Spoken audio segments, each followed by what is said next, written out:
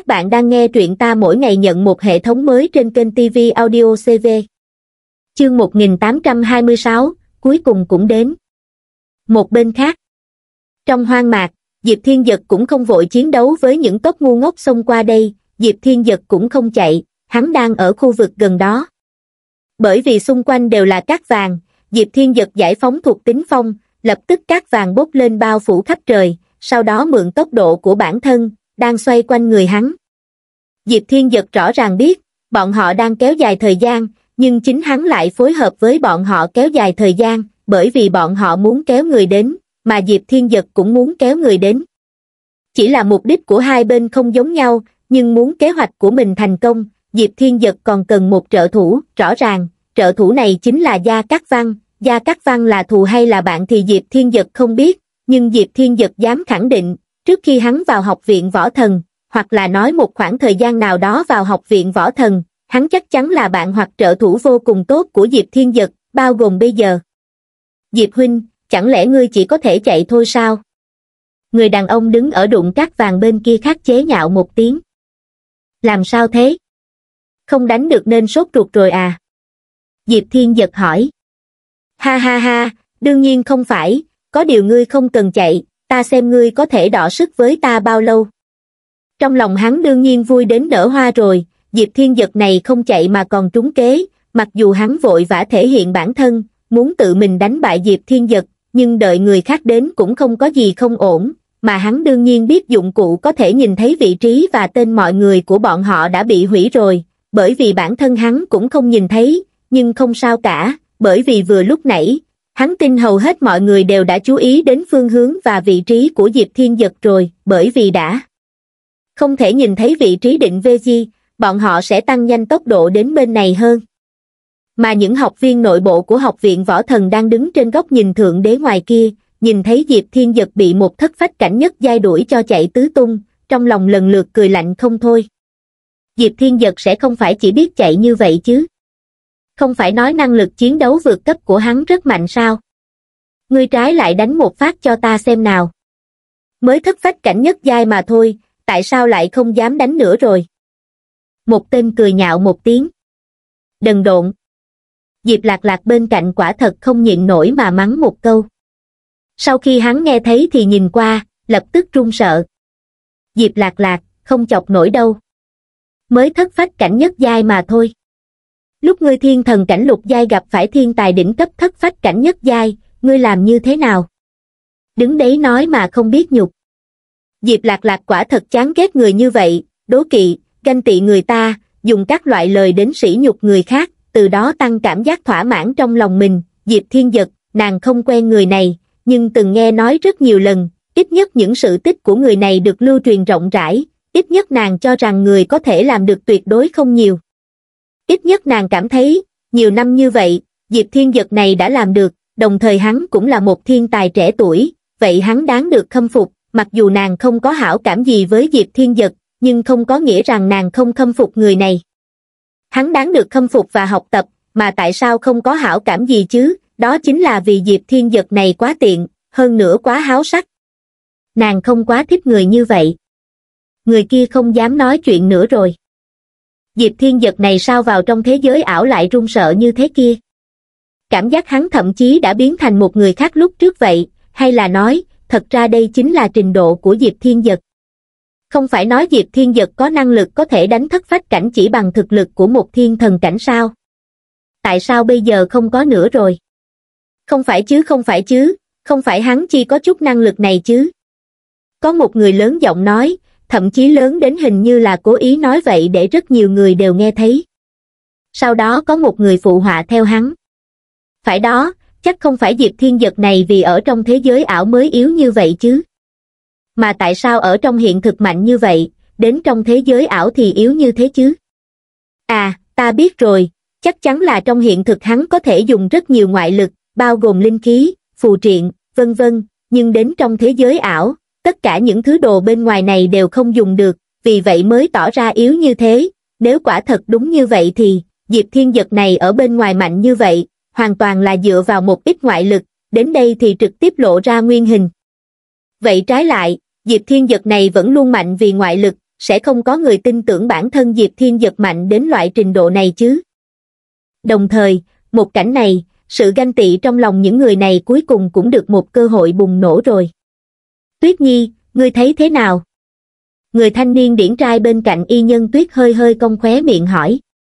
Dù sao ở trong mắt ta, hắn chính là đỉnh phong và mà người mạnh nhất trong lớp trẻ.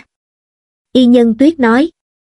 Y nhân tuyết đối với Diệp Thiên Dật, tương đối mà nói là hiểu khá rõ, nàng biết rất nhiều thứ của Diệp Thiên Dật là dựa vào ngoại lực, nhưng đồng thời nàng cũng rõ, bản thân Diệp Thiên Dật tuyệt đối cũng vô cùng khoa trương. Hắn mỉm cười gật gật đầu không nói gì, chỉ là trong đôi mắt lóe qua một tia mù mịt. Một bên khác, Diệp Thiên Dật vẫn đang trốn tránh như cũ, chính là không chiến đấu chính diện với người kia. Lại có mấy người đến bên này, nhìn thấy có người đang chiến đấu với Diệp Thiên Dật, mấy người bọn họ tập hợp đến bên cạnh Chu Á Thành. Bọn họ có cùng một mục tiêu chính là Diệp Thiên Dật, hơn nữa bọn họ biết vụ cá cược của Chu Á Thành và Diệp Thiên Dật, bọn họ đương nhiên chọn đứng ở bên Chu Á Thành, vì vậy nhìn thấy Chu Á Thành ở đây, bọn họ mới không ra tay, tình hình gì vậy? Vương Thiếu Ngươi không phải thuộc tính không gian sao? Cùng nhau khóa không gian lại, chúng ta loại bỏ Diệp Thiên Giật này trước. Được. Bọn họ cũng đồng ý, Diệp Thiên Giật quá rêu rao, khiến cho người khác ghen tị muốn loại bỏ. Vậy ta đi khóa không gian, các ngươi đi xem thử có thể đánh Diệp Thiên Giật này hay không? Được. Sau đó lại có mấy người tham gia chiến đấu, Diệp Thiên Giật. Mẹ nó, đừng như vậy mà, tại sao các ngươi lại ra tay rồi chứ? Nếu như Diệp Thiên Dật không đỡ nổi hoặc là dùng không gian chạy, vậy kế hoạch của hắn hoàn toàn không thực hiện được rồi. Mẹ nó, Gia Cát Văn kia tại sao còn chưa đến, nhanh chút đi.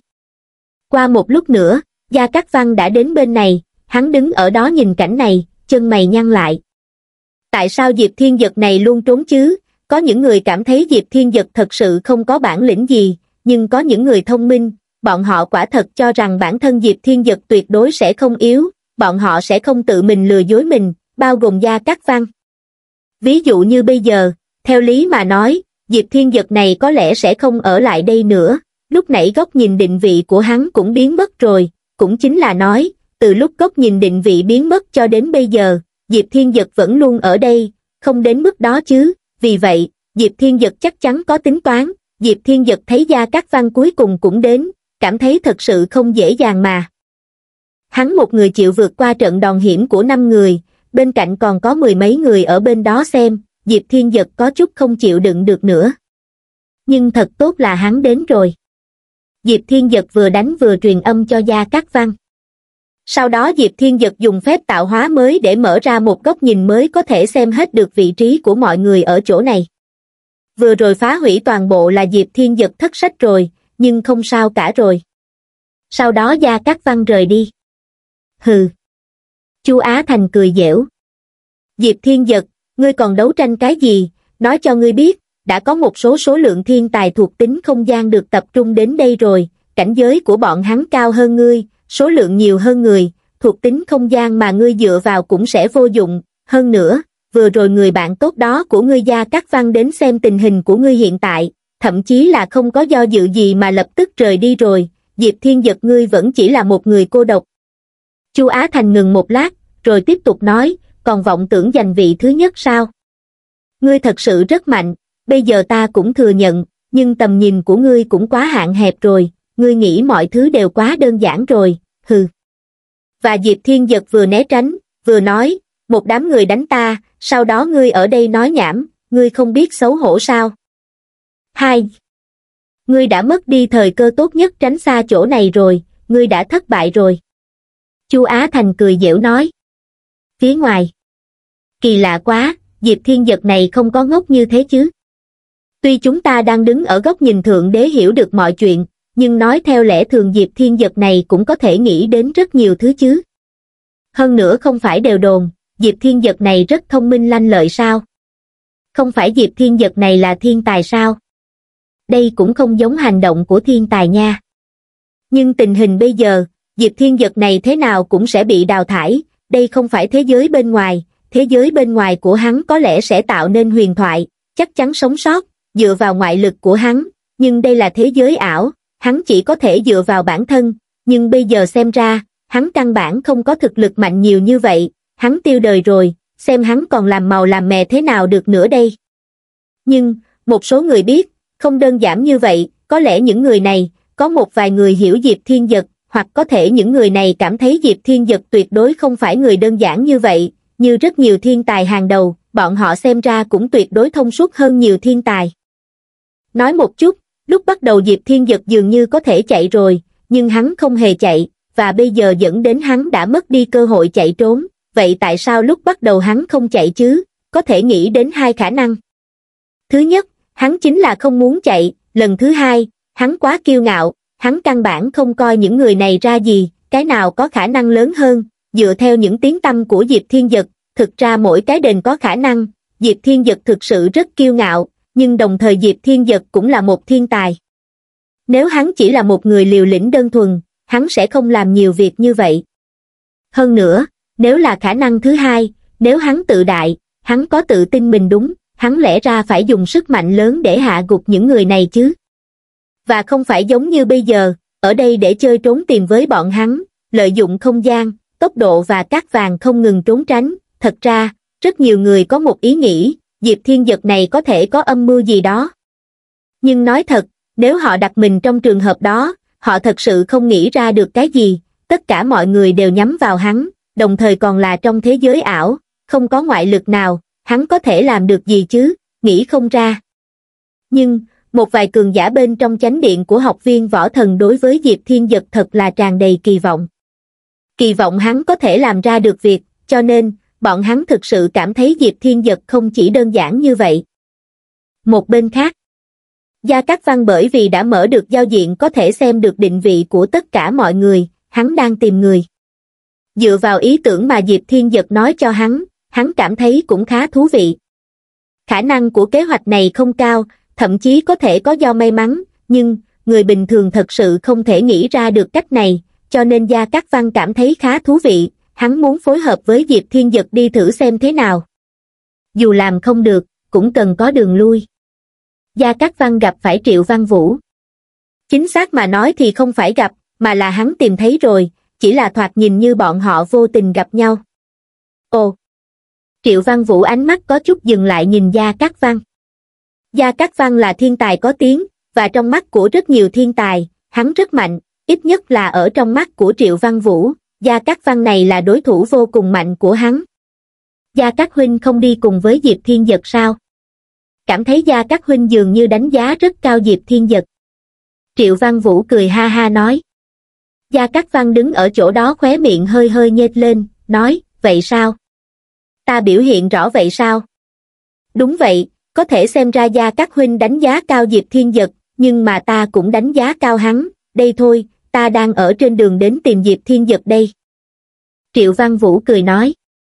Vậy thật khéo, ta vừa mới từ bên chỗ Diệp Thiên Giật đi ra. Hả? Triệu Văn Vũ nhíu mày, vậy người không đi cùng hắn sao? Gia Cát Văn cười, nói, cần phải nói thật sao? Đương nhiên rồi. Triệu Văn Vũ nói.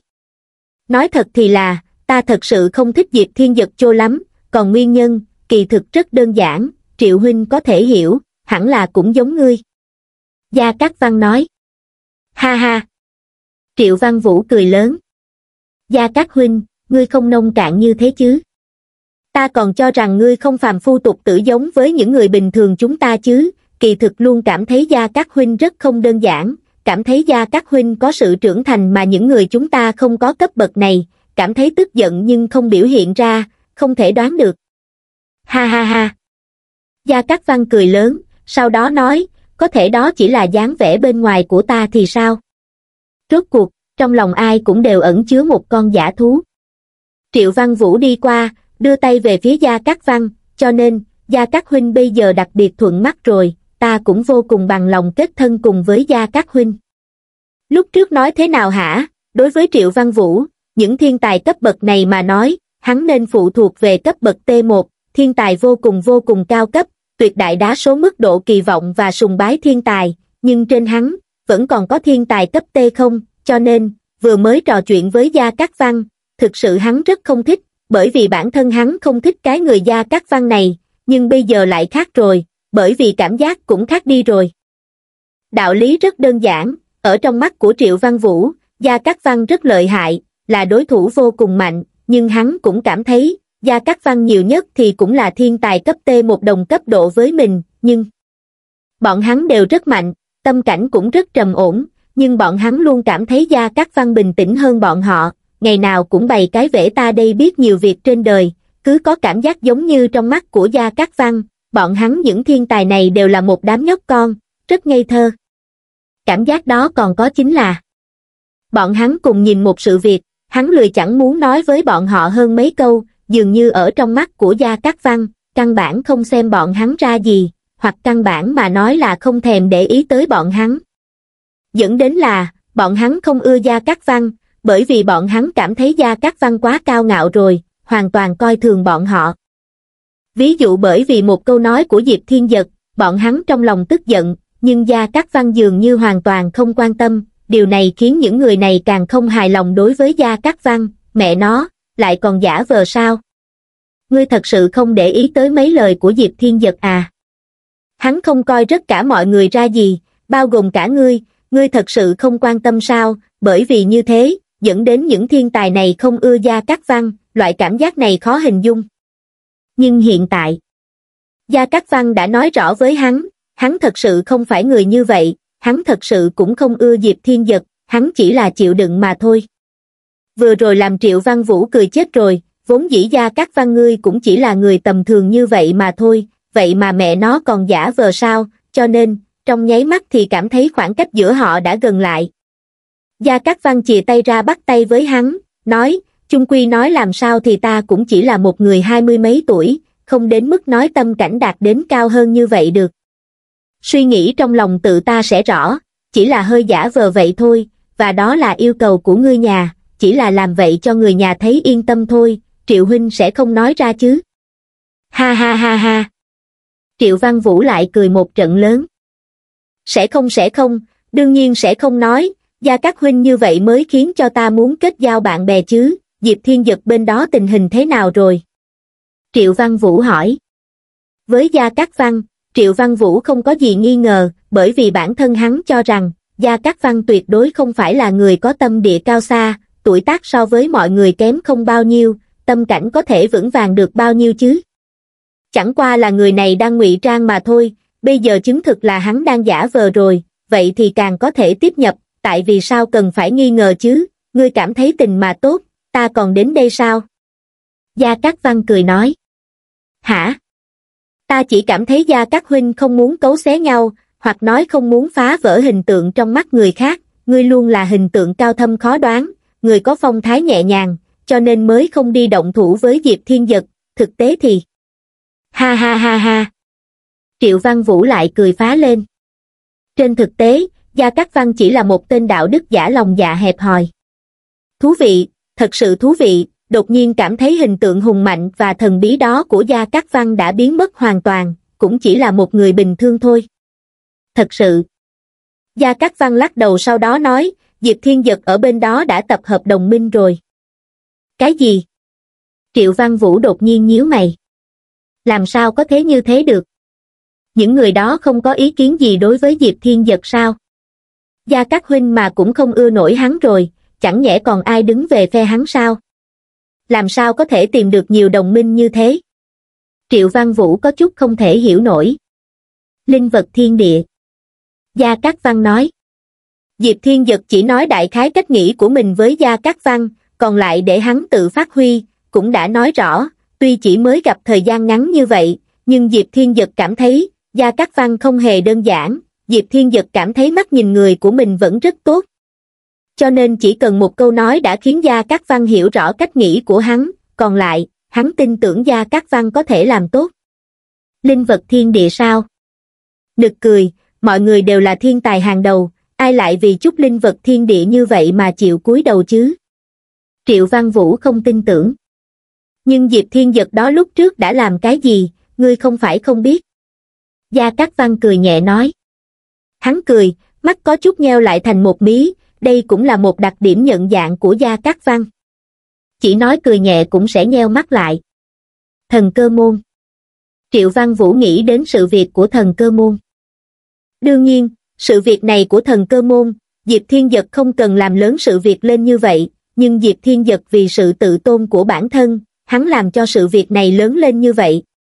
Triệu Văn Vũ có chút do dự lắc lắc đầu, Gia Cát Huynh nói đúng, Diệp Thiên Giật này đừng nên nói trước, một vài cách làm của hắn thật sự có chút điên cuồng, có lúc không khác gì một người điên, và dường như hắn có rất nhiều thứ, linh vật thiên địa thật sự là không thể lay động tới những thiên tài này, nhưng, Diệp Thiên Giật còn có thể lấy ra thứ mà ngay cả thái cổ thần vương cảnh cũng phải đổ xô vào, bọn hắn làm sao có thể cự tuyệt chứ? Đúng vậy, nói như vậy thì ta cũng hiểu rồi, Diệp Thiên Giật đã nói lớn như thế rồi, hắn nhất định sẽ làm được, hắn mà làm không được, hắn chắc chắn sẽ mất mặt, nhưng dựa vào tính cách của Diệp Thiên Dật, hắn cho dù có chịu lỗ, thì lời này cũng đều đã nói ra rồi, hắn cũng phải làm cho bằng được.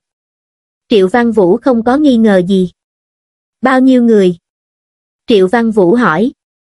Lúc đó nhìn thấy có gần 30 người. Nhanh như thế sao?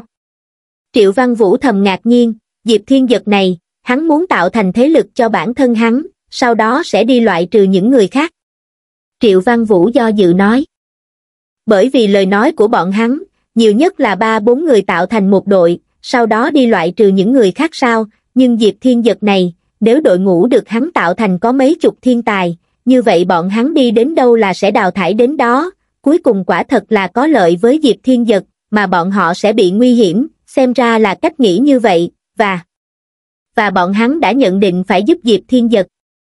Triệu Văn Vũ nói tiếp.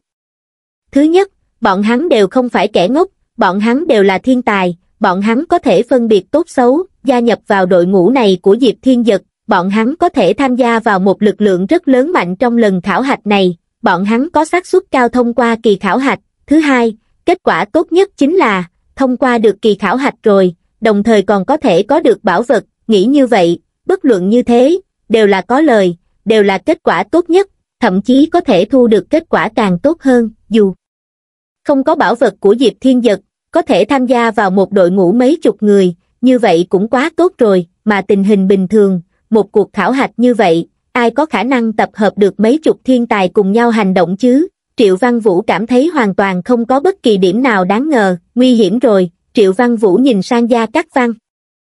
Tên Gia Cát Văn này tuy là một quân tử, nhưng không thể phủ nhận về tài trí và sự thông minh của hắn. Đây cũng là lý do Gia Cát Văn thành danh.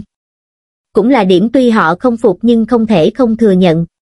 Gia Cát Huynh cảm thấy thế nào? Giữa Triệu Văn Vũ và Diệp Thiên Dật tuy không có mâu thuẫn, nhưng hắn không ưa Diệp Thiên Dật là một phần. Còn thêm việc hắn không xem ai ở đây ra gì, vậy nên Triệu Văn Vũ tuyệt đối không thể để hắn lấy được hạng nhất, tuyệt đối không được. Đơn giản, đó chính là lập ra một đội có thể chống lại đội của Diệp Thiên Dật. Bởi vì có một điều dễ thấy đó chính là, nếu như không giải quyết mấy người của đội Diệp Thiên Giật, thì việc đối với một người có không gian đỉnh cấp như hắn, hầu như không có cơ hội để đào thải hắn. Triệu Văn Vũ gật đầu, xem ra cũng chỉ có thể như vậy thôi, tên Diệp Thiên Giật này thực sự là có chút bản lĩnh, hừ, nhưng không có tác dụng, bởi vì hắn đã quên mất một điểm. Gia Cát Văn cười nói, hắn đã quên là có rất nhiều người nhắm vào hắn, hắn cho rằng chỉ cần lập ra một đám người như vậy là đã có thể đánh đâu thắng đó. Thực ra, những người tham gia cuộc thi này đại đa số là không ưa hắn, mà chỉ cần biết vào lúc này Diệp Thiên Dật đang chiêu mộ thiên tài với số lượng lớn, chỉ cần một tin đó, thì tất cả mọi người đều sẽ thống nhất lại. Đúng vậy. Đúng là gia các huynh thông minh, hơn nữa, đội của chúng ta cũng không cần quá nhiều, đoán là đội của Diệp Thiên Dật chắc cũng chỉ tầm ba mươi mấy người, hoặc là bốn mươi mấy người, bởi vì nếu người quá nhiều thì chắc là hắn cũng không quản lý nổi. Triệu Văn Vũ gật đầu.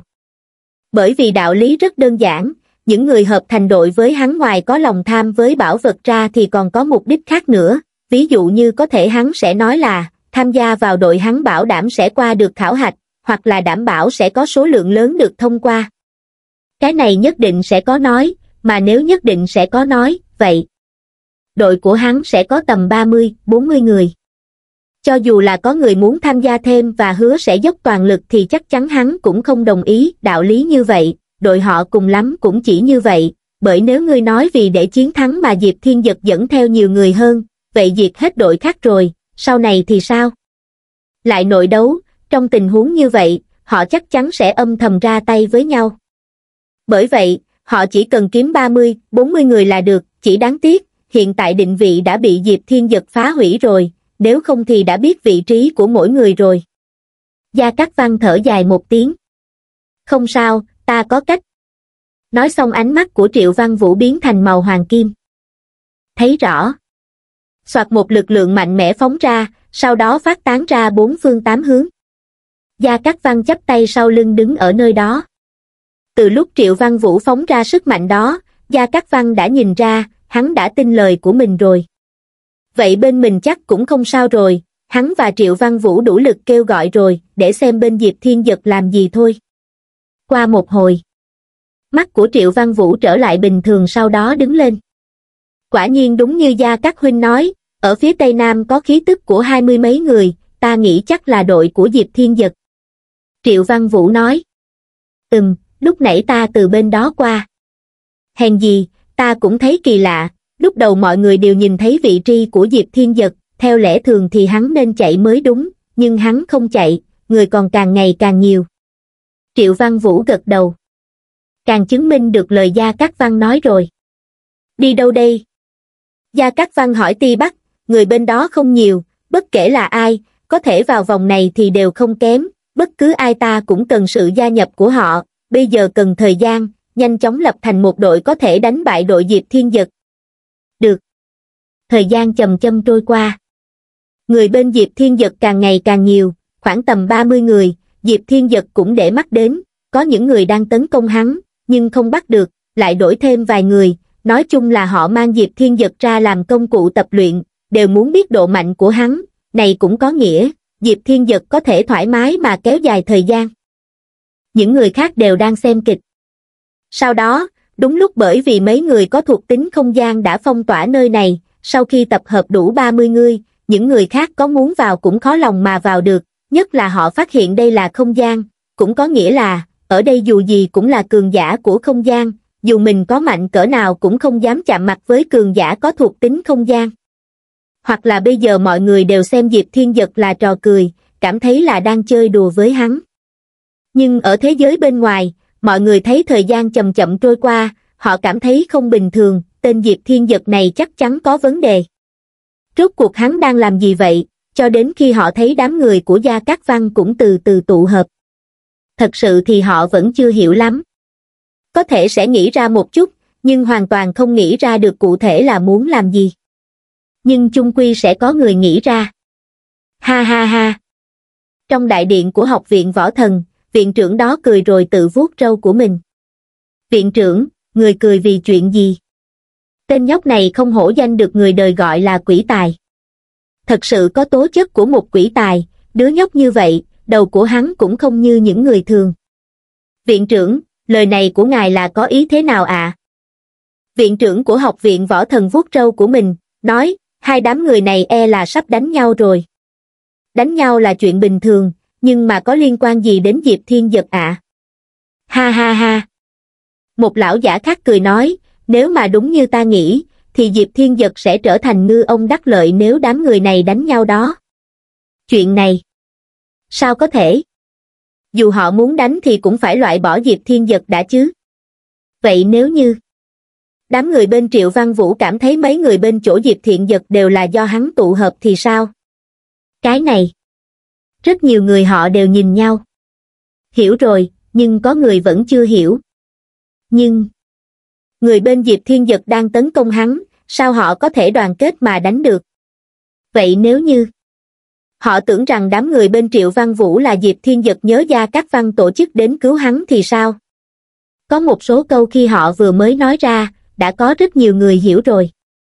Ví dụ như bây giờ những lời họ đang nói, sau đó họ sẽ nghĩ lại, thật sự là như vậy sao, vậy nếu là thật thì Diệp Thiên Giật này đúng là lợi hại thật. Việc còn lại là phải xem xem chuyện sẽ được tiến hành như thế nào. Bên khác, Diệp Thiên Giật vẫn đang bị đuổi theo.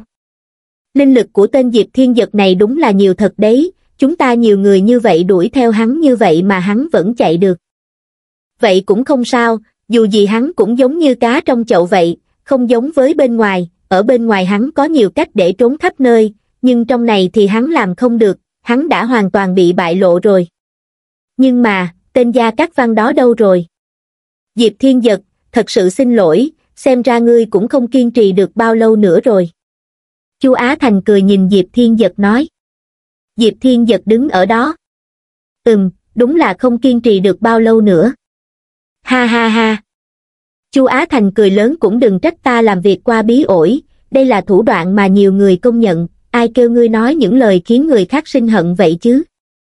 Những người này vốn không phải ta tìm đến để đối phó ngươi đâu, bởi vì ta không làm được, bọn họ đơn thuần là tự phát, ngươi tự tỉnh táo lại đi. Diệp Thiên giật gật đầu, ừm, ngươi nói có lý, ta sẽ đi tự tỉnh táo lại, nhưng bây giờ ta cảm thấy ngươi. Vui quá sớm rồi. Ồ, vui sớm sao? Ý của Diệp Huynh là, ngươi vẫn chưa thua. Vậy xin hỏi, bây giờ ngươi đang độc thân một mình, lại không ở bên ngoài, vậy ngươi còn cách nào sao? Chu Á Thành hỏi.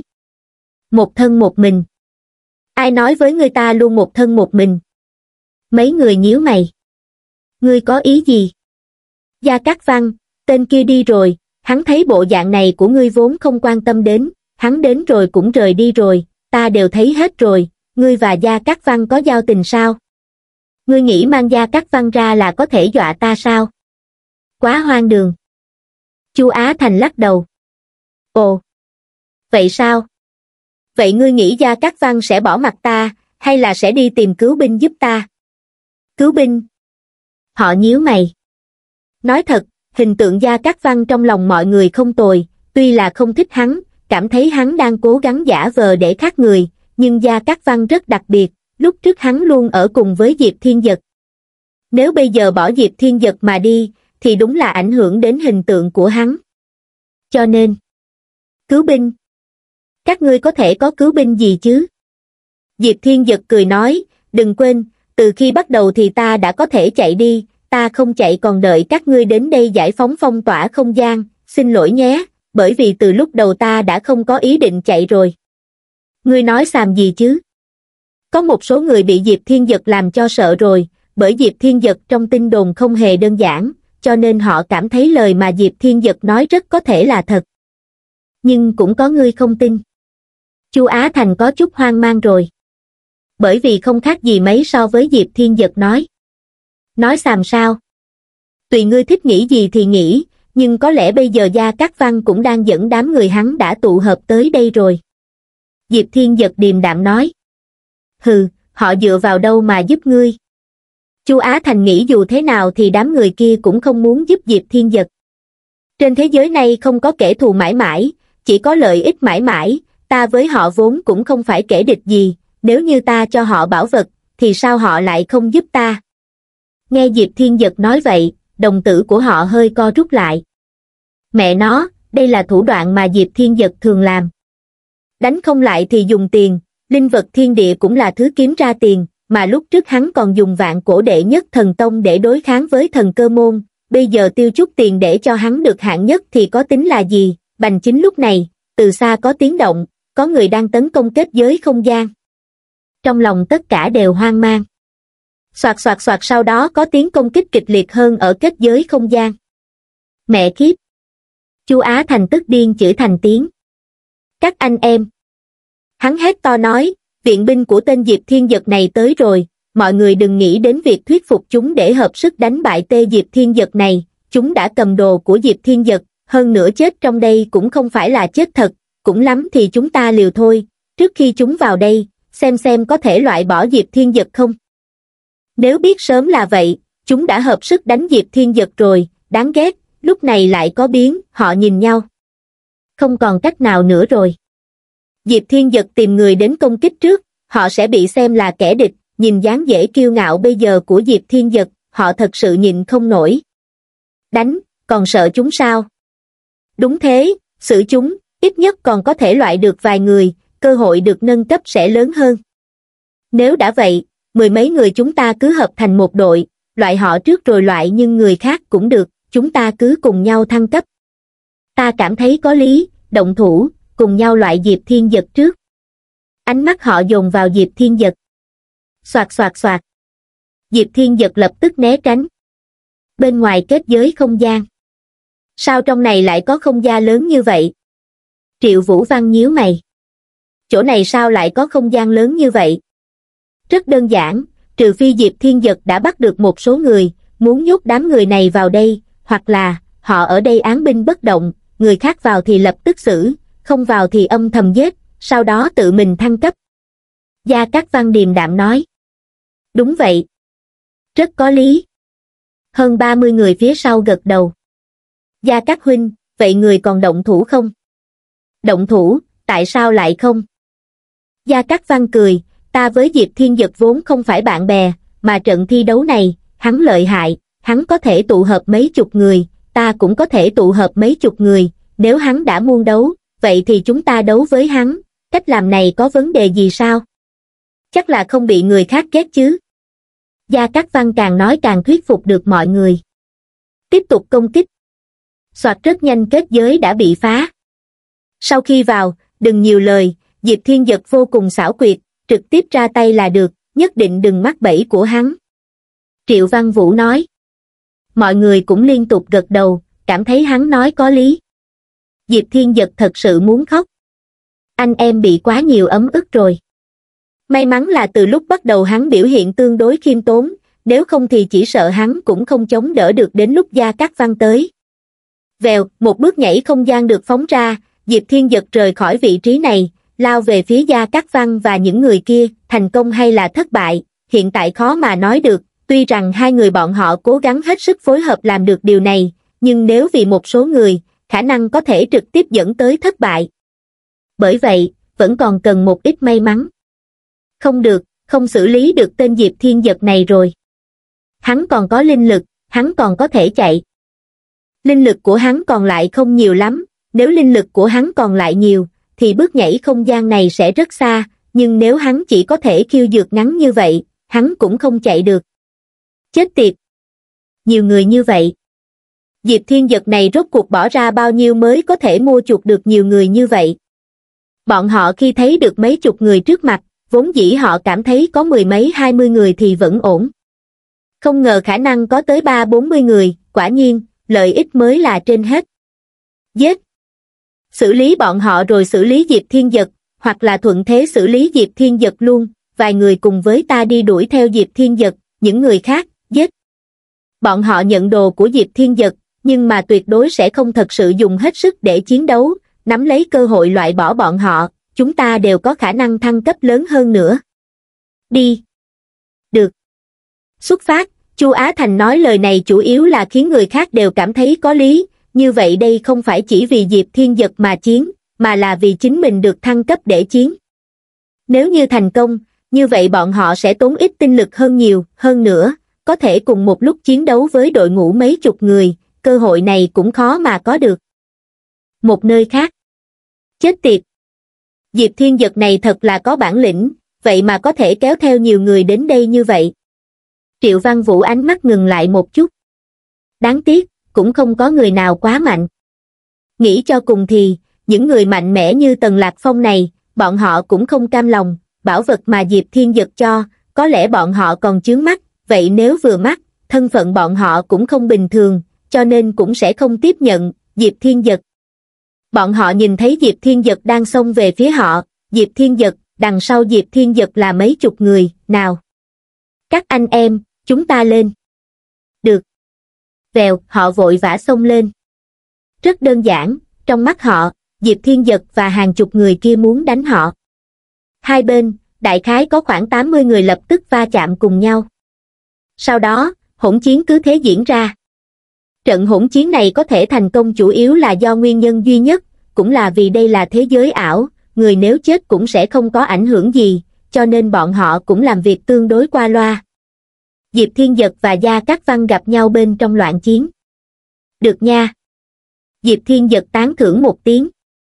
Gia Cát Văn khẽ cười nói, là cách của ngươi lợi hại. Cũng là ngươi phối hợp tốt. Chuẩn bị ra tay đi. Gia Cát Văn nói.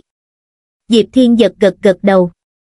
Vèo, sau đó bọn họ hai người tản ra, bọn họ ở trong đám người tùy ý tìm người nào đó công kích. Dù sao hỗn chiến đều bắt đầu rồi, phần đông bọn họ đều không quen biết lẫn nhau, ai đánh ai cũng không biết, cuối cùng lại biến thành cục diện ai đánh ta ta liền đánh lại. Mà Diệp Thiên Giật và Gia Cát Văn cũng chính là tùy tiện đánh, nếu đã đánh nhau rồi, bọn họ tự nhiên là hy vọng trận hỗn chiến này càng loạn càng tốt, xung quanh, rất nhiều người đều đại chiến bên này hấp dẫn, 80 đỉnh cấp thiên tài cùng một chỗ loạn đấu, quy mô này, khí thế này, bọn họ cho dù đang ở xa xa đều cảm nhận được. Sau đó lần lượt đến đây, quái lạ. Sao lại có nhiều người đánh nhau như vậy? Có muốn đi vào đánh một tay không? Trộn lẫn cái khỉ gì, bọn họ đánh của bọn họ, chúng ta ở đây ngư ông đắc lợi chẳng phải là càng tốt à? Nhưng mà, này thoạt nhìn qua cũng không đến trăm người đi. Mặt khác những người đó hiện tại bị đào thải nhiều lắm cũng có 50 người. Hiện tại vẫn còn nhiều người như vậy, nếu đánh trúng thì để bọn họ đánh đi. Cũng là những gì ta muốn nói. Chỉ có điều. Bọn họ không muốn đánh là có thể không đánh sao, đẳng cấp của bọn họ trên lệch không quá nhiều, nên bên này rất nhiều người chú ý, sức mạnh không gian cũng dần tăng lên. Ngươi đã làm như thế nào? Gia Cát Văn kinh ngạc nhìn Diệp Thiên Giật. Sức mạnh không gian này vượt quá sức tưởng tượng của hắn. Tuy rằng hắn biết có phép tạo hóa tăng lên, nhưng sức mạnh này không khỏi cũng quá cao rồi chứ người anh em, nhưng mà ngẫm lại cũng có thể hiểu được, lúc trước Diệp Thiên Giật khảo hạch thuộc tính không gian đạt được số điểm quá kinh khủng, hắn cũng cảm thấy nhẹ nhõm trở lại. Trình độ nắm giữ không gian hơi cao thôi thôi. Của ngươi thì sao? Diệp Thiên Giật nhìn về phía Gia Cát Văn. Không gian của ta đương nhiên không so được với Diệp Huynh. Gia Cát Văn nói xong, chân phải hắn hơi hơi dẫm một cái, một trận bát quái màu lam hình thành, từ trong đó bộc phát ra một chút sức mạnh không gian. Diệp Thiên Giật này lại là cái thủ đoạn gì, khu vực này bị bọn họ hoàn toàn phong tỏa, những người khác ở đây chém giết, có đôi khi tâm huyết đánh nhau nổi lên, bọn họ cũng lười đi suy xét thứ gì, dù sao cũng sẽ không chết thật sự, mẹ kiếp, các ngươi đuổi theo lão tử đánh, lão tử bị đánh nổi giận, còn không cho ta bạo phát à, dần dần mất đi lý trí, những người đến xem vì lý do nào đó đều bị mắc kẹt ở thế giới bên trong. Trong tiềm thức bọn họ chính là muốn đập vỡ không gian này, chỉ có điều bọn họ lại phát hiện. Sức mạnh của không gian này làm cho bọn họ cảm giác có chút yếu ớt, mà Diệp Thiên Dật và Gia Cát Văn đang làm gì, bọn họ đã tản ra. Bọn họ chủ động đi công kích những người đến đây xem kịch. Mà người đã được Gia Cát Văn tìm tới lại nghĩ người bị Diệp Thiên Dật công kích là người phe mình, còn những người bị Gia Cát Văn công kích thì lại bị họ coi là cứu binh của Diệp Thiên Dật, sau đó. Những người đó cứ thế cũng bị kéo vào trận đấu đại loạn này. Bên ngoài, toàn bộ người xem đều choáng váng. Chết tiệt, loại khảo hạch này còn có thể chơi như vậy sao, cái tên Diệp Thiên Dật và Gia Cát Văn này, hoàn toàn chà chỉ số thông minh của người khác xuống mặt đất mà. Bọn họ đã hoàn toàn bị đùa bỡn. Một người hai người thì không nói, hơn trăm người đều bị lừa đi vào.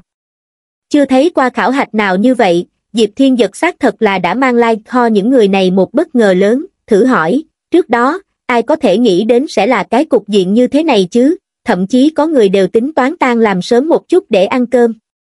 Nhưng thật ra Diệp Thiên Dật và Gia Cát Văn đều diễn rất tốt, vẫn luôn chiến đấu, không có gì phải hoài nghi. Thời gian chậm rãi trôi qua, trận chiến phía bên này vẫn tiếp tục, nhưng càng đánh lại càng ít người.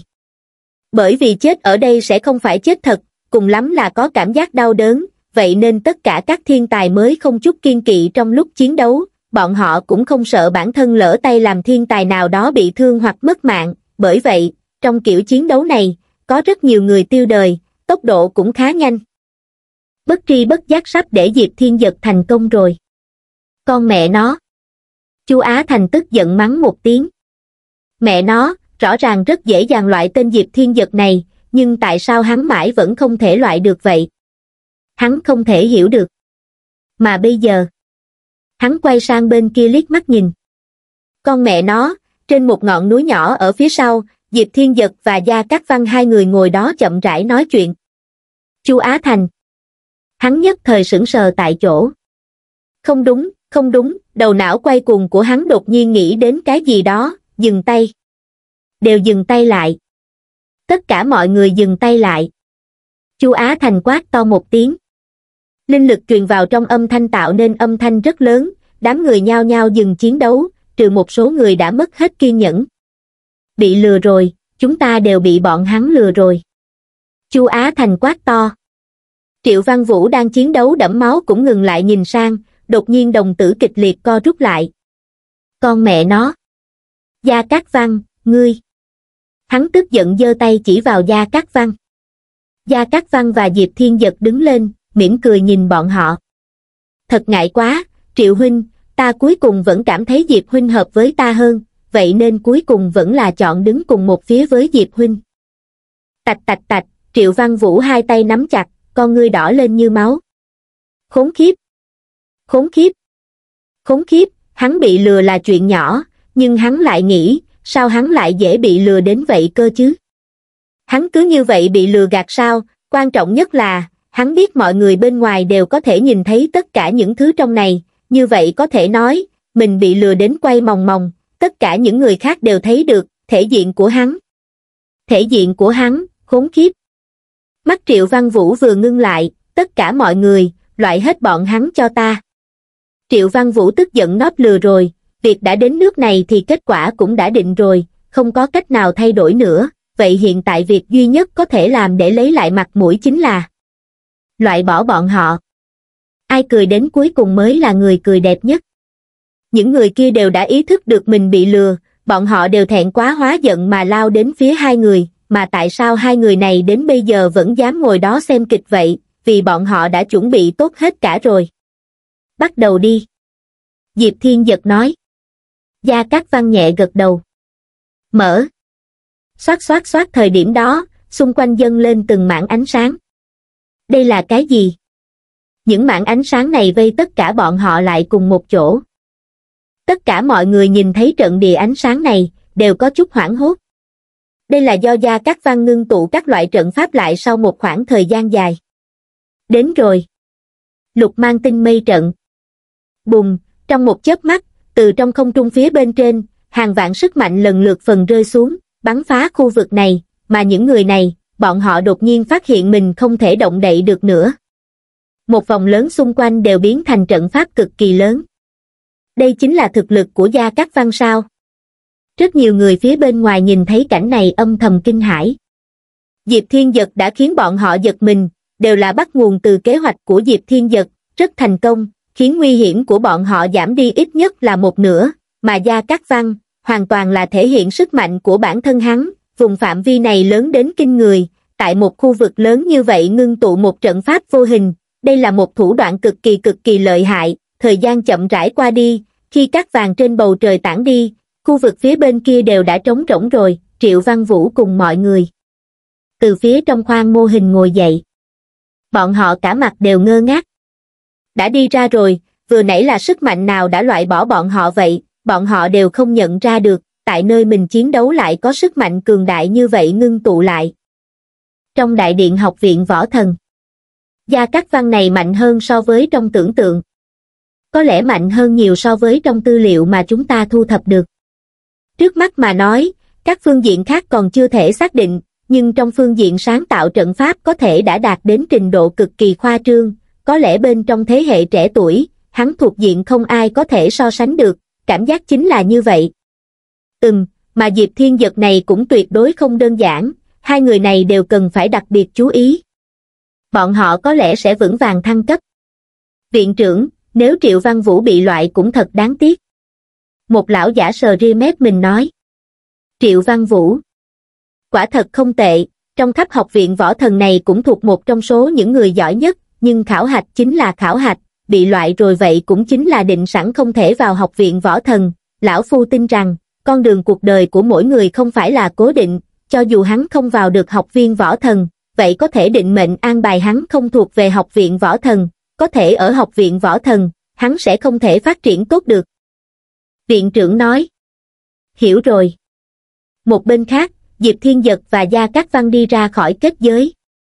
Trận pháp này của ngươi thật mạnh. Diệp Thiên Giật nói. Cũng tạm, từ nhỏ đã học cái này, Diệp Huynh cũng đừng khiêm tốn, so với ta, ngươi mạnh hơn rất nhiều. Diệp Thiên giật liếc mắt. Rốt cuộc là ai đang khiêm tốn? Nhưng ta không thấy rằng ta khiêm tốn nha, dù sao trước đó ta cũng đã nói, toàn bộ học viện võ thần, không có mấy người ta coi là đối thủ thực sự, cái này không coi là khiêm tốn chứ. Nhưng ngươi vừa mới nói. Gia Cát Văn cười nói. Đó không phải là khiêm tốn, đó là lời thật lòng. Diệp Thiên giật nhún vai. Hiện tại còn sót lại những người bên trong, mạnh nhất cũng chỉ có hai người, một là Tần Lạc Phong, còn một là Ngụy Dương, nếu hai người này liên thủ thì có chút khó đối phó, nếu bọn họ không liên thủ, hai người chúng ta liên thủ, việc thăng cấp có lẽ không có vấn đề gì. Gia Cát Văn nói. Diệp Thiên giật gật gật đầu. May mà có ngươi. Gia Cát Văn cười nói. Diệp Huynh đừng quá khách sáo, ta biết dù không có ta, ngươi vẫn sẽ không có việc gì. Người bên ngoài đều nói ta dựa vào ngoại lực. Diệp Thiên Giật nói. Đúng thật là như vậy nhưng chắc chắn không phải tất cả. Có, nhưng bản thân ngươi cũng rất mạnh, ta luôn nghĩ như vậy, cũng chưa từng nghi ngờ, Diệp Huynh lựa chọn phương pháp trắc trở như vậy, có lẽ cũng là lo lắng một ít sức mạnh nào đó của mình sẽ bị học viện võ thần nắm giữ được, đúng không? Diệp Thiên giật liếc nhìn ra Cát Văn nhiều hơn chút. Người này cười hiếp cả mắt, nhưng Diệp Thiên giật thực sự đã cảm thấy được sự đáng sợ của hắn, đây chắc chắn sẽ là một đối thủ vô cùng vô cùng mạnh mẽ và đáng sợ, đương nhiên, tốt nhất vẫn không nên là đối thủ, rất nhanh, bọn họ rời khỏi thế giới ảo. Vòng khảo hạch thứ ba kết thúc. Có người vui có người buồn. Bạch Hàng Tuyết họ thật sự vui thay Diệp Thiên Giật. Còn những người khác, những người xem khảo hạch cũng nhìn ra, Diệp Thiên Giật không hề đơn giản, tuy hắn không biểu lộ sức mạnh nào ra, nhưng có thể cầm cự với một đám người lâu như vậy, là đã lợi hại lắm rồi. Áp lực cũng lớn đó, nhưng nghĩ qua nghĩ lại liệu có phải là do Diệp Thiên Giật không lợi hại quá không? Nhưng đây này cũng là một tin tốt, điều khiến họ không thoải mái là do Diệp Thiên Giật chưa bị loại. Mà mấy người Triệu Văn Vũ và Chu Á Thành chắc chắn là những người khó chịu nhất. Được rồi, mời những người được thăng cấp theo ta, để ta sắp xếp cho các ngươi một lát, những người khác thì giải tán đi, những ai thất bại xin mời ra khỏi học viện võ thần. Triệu Diệp đứng ra nói. Hắn nhìn cháu mình Triệu Văn Vũ một lúc. Cháu hắn bị loại cũng là chuyện mà hắn không ngờ đến, nhưng quy tắc là quy tắc, hắn cũng không làm gì được. Sau đó nhóm người Diệp Thiên Giật đi theo Triệu Diệp rời đi. Mẹ kiếp! Triệu Văn Vũ chửi ra một tiếng, gương mặt tràn đầy căm hận. Diệp Thiên Giật, hắn nhớ kỹ người này rồi. Số liệu của Diệp Thiên Giật không thu được bao nhiêu, gần như là không có thu hoạch gì. Trận thứ ba này hầu như hắn không dùng sức mạnh đặc biệt nào, bao gồm những gì hắn học được ở yêu tâm phong hắn cũng không dùng. Trong học viện võ thần, mấy người đó đang bàn tán. Một đứa trẻ thông minh, xem ra hắn đã đoán được rồi, hắn không đơn giản thật. Lãnh xong huy hiệu của học viện, Diệp Thiên Giật không thể kiềm chế được đi tìm Bạch Hàng Tuyết. Ôi chao ơi, tiểu hàng tuyết của ta, nhớ chết đi mất. Diệp Thiên Giật ôm Bạch Hàng Tuyết. Hạ ngữ hàng bên cạnh cũng không hề ghen chút nào. Bạch Hàng Tuyết hơi cựa một chút sau đó cũng không phản kháng nữa.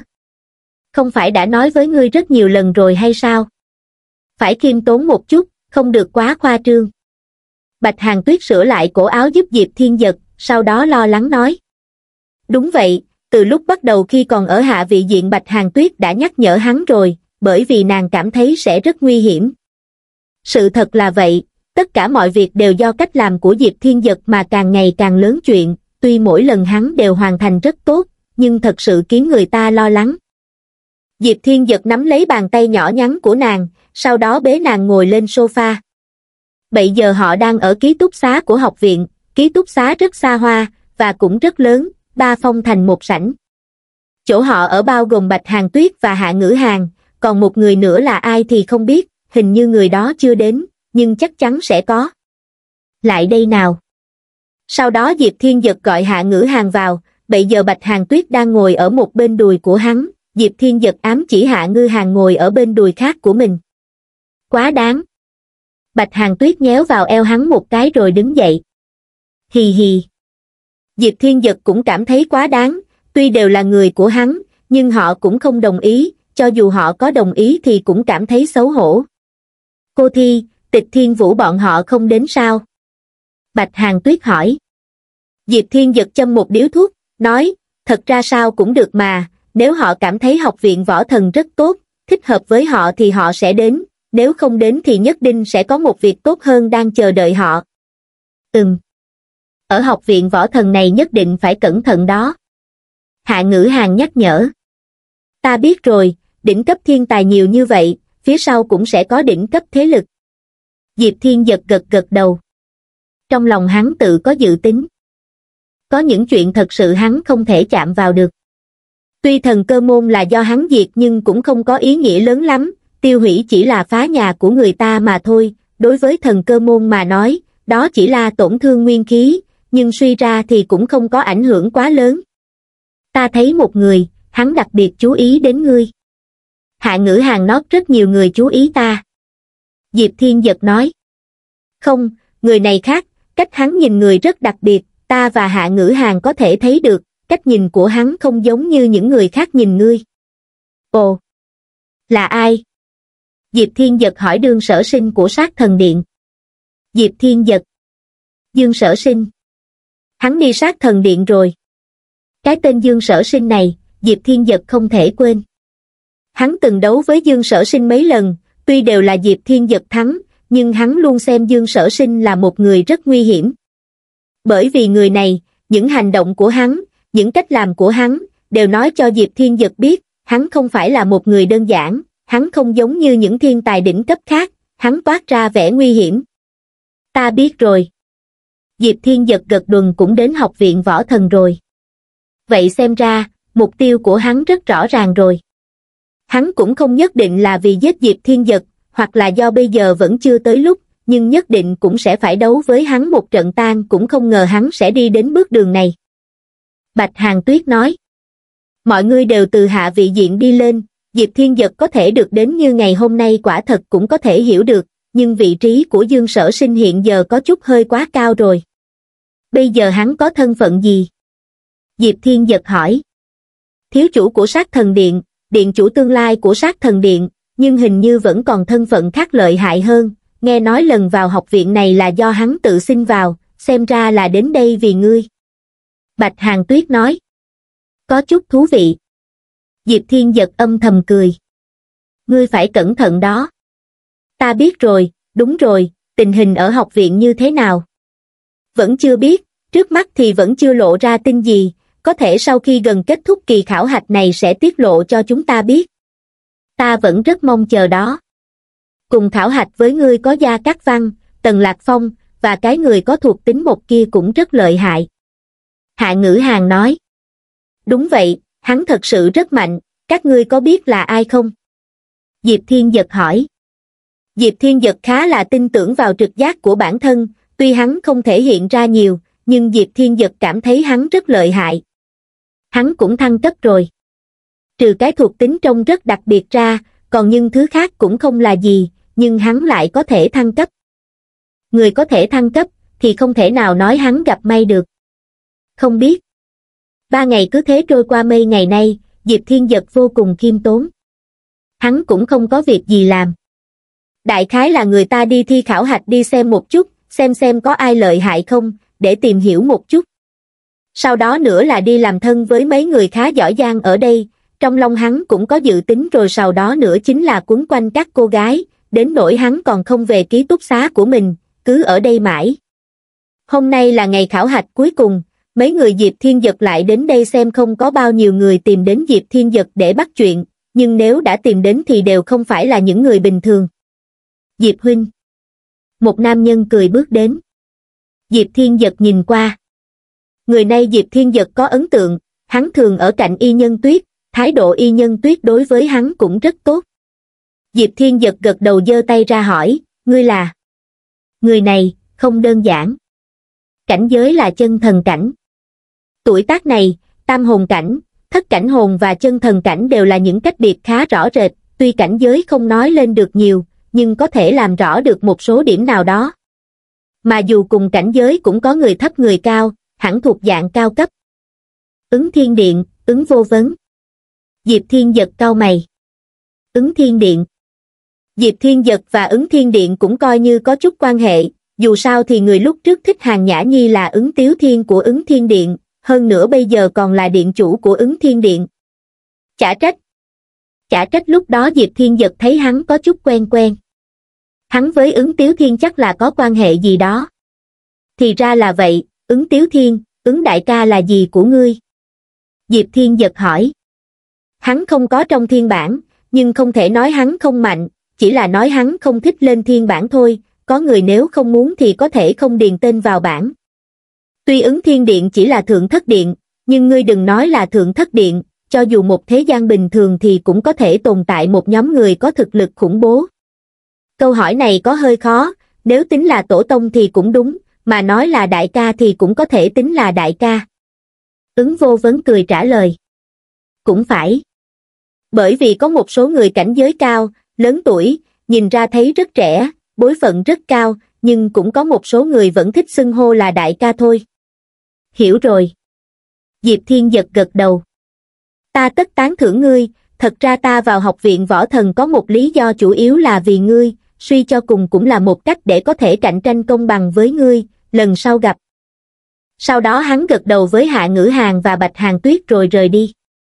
Cạnh tranh, Diệp Thiên giật cười thầm trong lòng.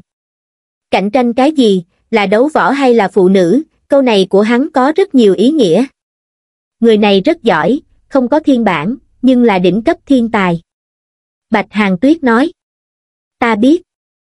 Đỉnh cấp này, nhưng cụ thể đỉnh ở trình độ nào, là top 10, top 5 hay TP3? Thật sự không dễ nói, không có ai rõ, nhưng trong lòng họ đều hiểu được. Sau đó Diệp Thiên Giật nhìn qua. Khảo hạch hôm nay đã bắt đầu rồi. Diệp Thiên Giật đặc biệt chú ý đến những thứ này, tuy ngươi thấy hắn luôn lơ đơ, nhưng hắn có để mắt đến một số người, hắn chưa từng xem thường ai. Diệp Thiên Giật nói kinh thường, đó là nói về thực lực, Diệp Thiên Giật cảm thấy người này không mạnh bằng mình, nhưng cái này cũng không tính là xem thường chứ, Diệp Thiên Giật thường sẽ thầm đánh giá những người đó theo tiêu chí của hắn, ví dụ như trình độ như thế nào, cái này sẽ là thước đo để Diệp Thiên Giật có coi trọng người đó hay không, điểm này khác với nhân tài khác, nhưng mà cách làm của Diệp Thiên Giật như vậy cũng rất bình thường bừa gồm những ngày nay đến xem, thật ra Diệp Thiên Giật vẫn có đặc biệt chú ý đến vài thiên tài đỉnh cấp. Vòng thứ nhất là khảo hạch thiên phú là cố định. Vừa mới bắt đầu sẽ không có gì hay, dù là Diệp Thiên Giật hay là cao thủ khác, họ đồng ý phí thời gian để đến đây xem, nhưng họ đều để ý những người có vẻ không đơn giản, có sự uy hiếp đối với họ, hoặc là đối thủ của họ ở học viện võ thần này. Ngươi với tiêu tích linh có quan hệ gì? Bạch Hàng Tuyết hỏi. Chút nữa là quên rồi. Đã hai ngày không liên lạc với tiêu tích linh rồi. Nàng là thị nữ của hắn đó. Nhưng bây giờ Diệp Thiên Giật cũng không có tâm trạng gì liên hệ với nàng, chỉ chăm chú vào xem thiên tài thôi. Đây sẽ là đối thủ hai năm tới đó. Không có gì, nàng để ý ta, hơn nữa luôn cố gắng lấy lòng ta. Hứ. Bạch Hàng Tuyết trừng mắt nhìn Diệp Thiên Giật. Hình như hôm nay không có người giỏi lắm. Diệp Thiện Giật xem một hồi rồi nói. Chắc là có, chỉ là chưa xuất hiện thôi. Sau đó đồng hồ công năng của Diệp Thiên Giật sáng lên, Bạch Hàng Tuyết nhìn theo. Không cần nghĩ, chắc chắn là con gái. Diệp Thiên Giật nhìn. Trời, nàng ấy muốn làm gì thế? Diệp Thiên Giật xoa đầu vậy. Diệp Lạc Lạc. Diệp Thiên Giật nót sao thế, sao ngươi còn quen cả Diệp Lạc Lạc? Diệp Thiên Giật nói, chính là lúc ở tà thần điện đấy, không phải ta đi đấu võ sao? Người biết chuyện này không nhiều, nhưng Bạch Hàng Tuyết chắc chắn biết.